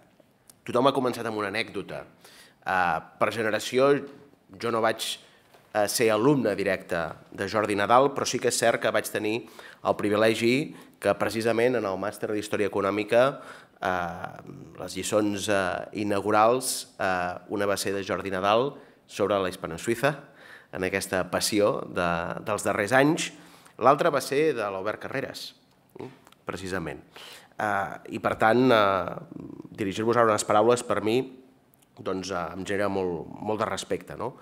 Però avui, més enllà d'aquesta vinculació eh, personal, que és important, Eh, també com a, com a president de la Generalitat vull destacar la contribució de Jordi Nadal al que avui és Catalunya i com coneixem el passat del nostre país i, per tant, com s'ha determinat el present que tenim a les mans i si ens pot inspirar de cares a les decisions que hem de prendre de cara al futur, no? per tota la seva trajectòria de recerca en tants àmbits de la industrialització del nostre país, d'història de la població, el seu llibre mencionat abans, del fracasso de la industrialització en Espanya, doncs és eh, un llibre fonamental per entendre els darrers dos segles a la península.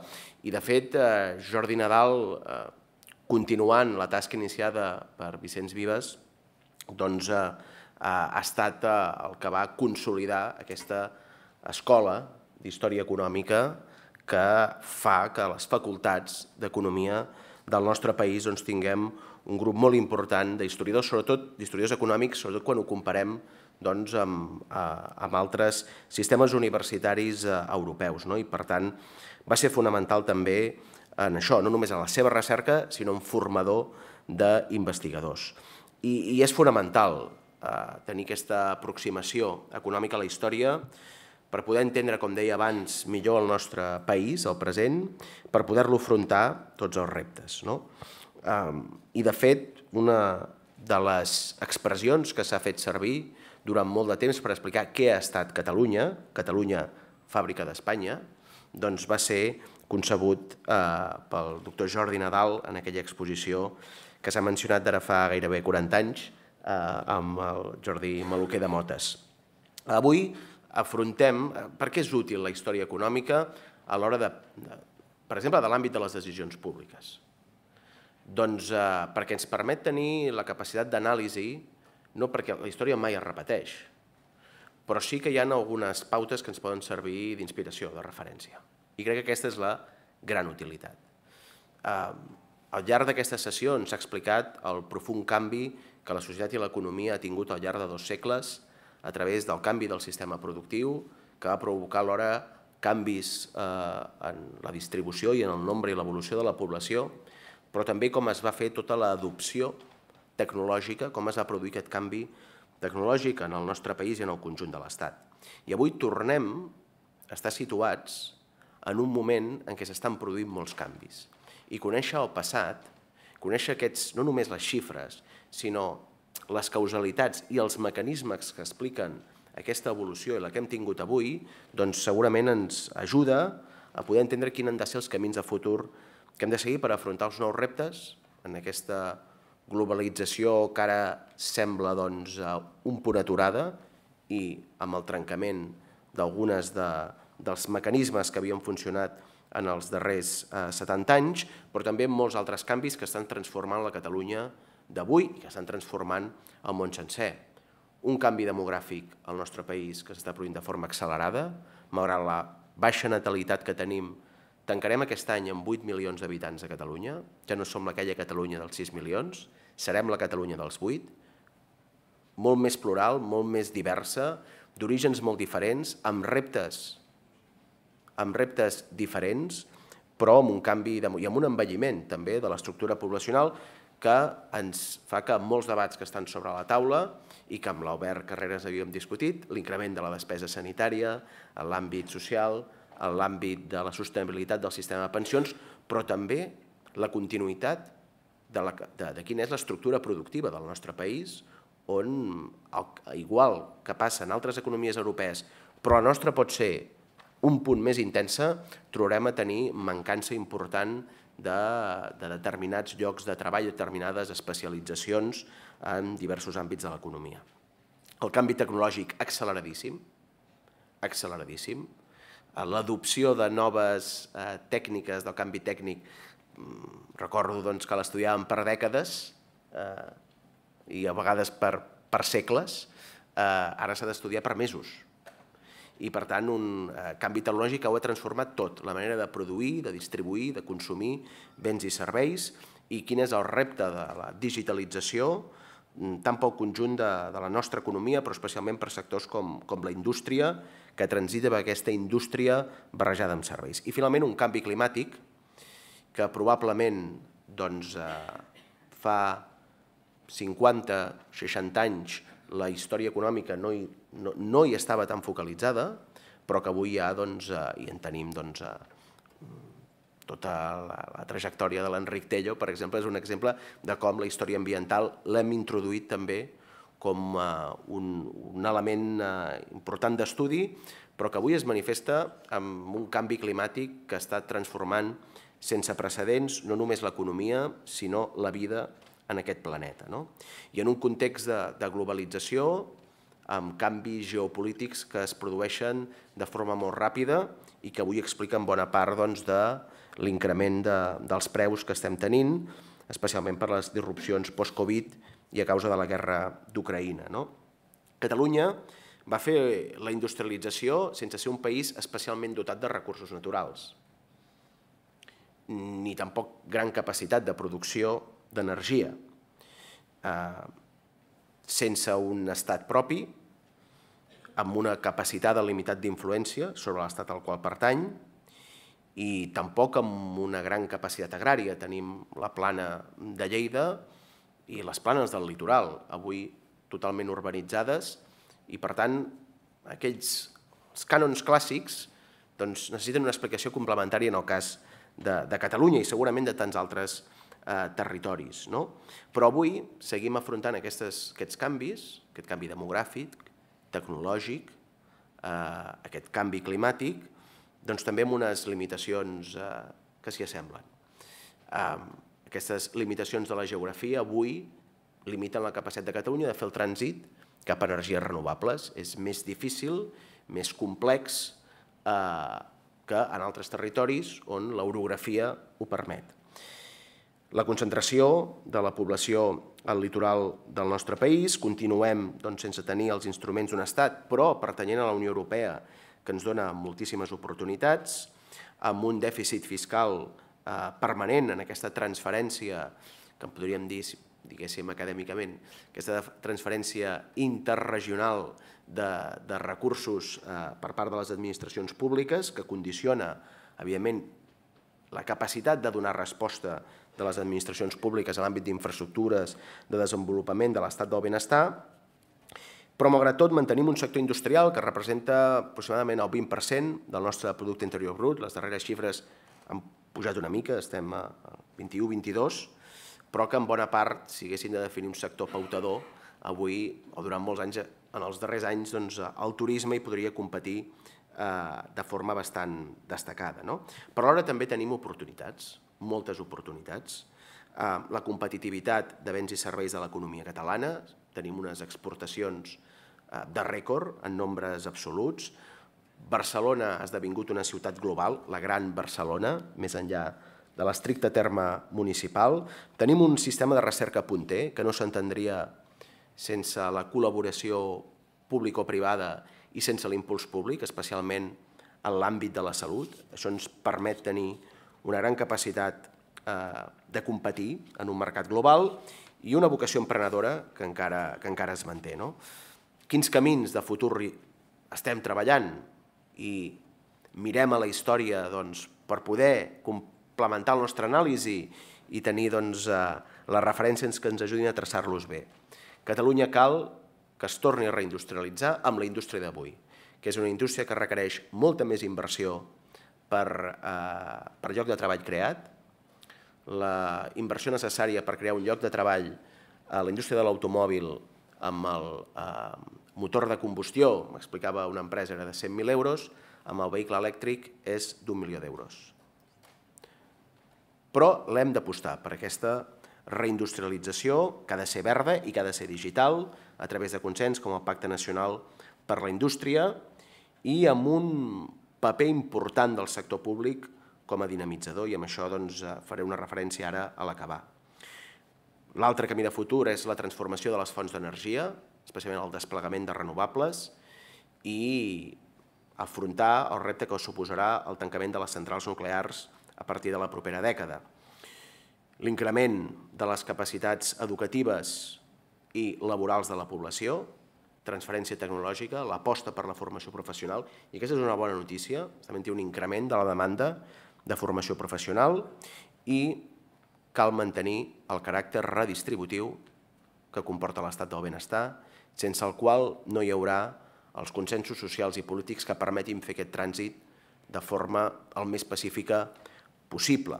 La industrialització va ser un gran procés de trauma social en termes de desplaçaments de població, de condicions de vida. Això també doncs, ho vam aprendre a la facultat i avui cal reforçar aquest caràcter redistributiu. No? I més que mai cal actuar com un estat emprenedor. Veiem com els Estats Units competeix amb Europa a través de la Inflation Reduction Act i per tant avui ja no ens estem discutint si una inversió d'una companyia multinacional va a la química de Tarragona o va a Finlàndia. Estem garantint que vagi cap a, cap a la química de Tarragona, però pot anar cap als Estats Units pel paper actiu que té l'Estat a nivell de simplificació i a nivell d'incentius. El mateix passa amb una Xina abocada al capitalisme burocràtic, com ens explica en Martin Wolf en el seu llibre recent. Els països productors de petroli tenen un activisme financer sense, doncs, eh, sense límits i, per tant, eh, els reptes són molts, però avui tenim Europa. I aquesta crec que és la gran diferència i, per tant, el camí és Europa des de Catalunya. Per tots aquests reptes, mirar la trajectòria, observar la trajectòria, estic convençut que ens dona no només molta més capacitat d'anàlisi del que som avui, sinó que ens indica també doncs, uns camins molt més sòlids de cara al futur. I crec que aquest és l'agraïment que des del país, des de les institucions del país, hem de fer a aquelles persones com Jordi Nadal que van obrir tants camins de coneixement, que han sembrat doncs, eh, i que això ha brotat en forma doncs, de molt, molts investigadors que han continuat doncs, i han desenvolupat les seves agendes de recerca i, i sobretot doncs, eh, amb, un, amb una producció eh, investigadora i de recerca que encara avui segueix sent una referència de primer ordre. Per tant, per molts motius, per aquesta contribució amb el país, doncs per la vinculació eh, personal i emocional que els que tenim aquí, doncs aquest és un homenatge, merescut, un homenatge just i que ha de continuar entre tots fent bona feina, els que esteu a l'àmbit de la recerca, continuant fent recerca, bona recerca, intentarem donar-vos més eines i recursos per poder-ho fer i els que ens pertoca ara, durant un temps, eh, fer-ho des d'altres àmbits, també tenint en compte les lliçons de la història. Moltes gràcies i molt bon vespre a tothom.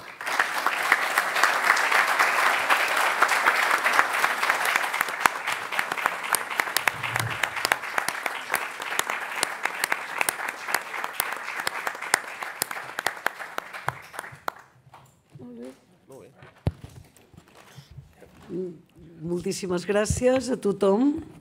Continuarem fent actes, congressos com aquest per intentar elevar el nivell cultural del país, per intentar provocar l'ascensor social entre els nostre, la nostra societat civil i amb aquesta gent com la que heu vingut aquí segur que ens en sortim. Gràcies.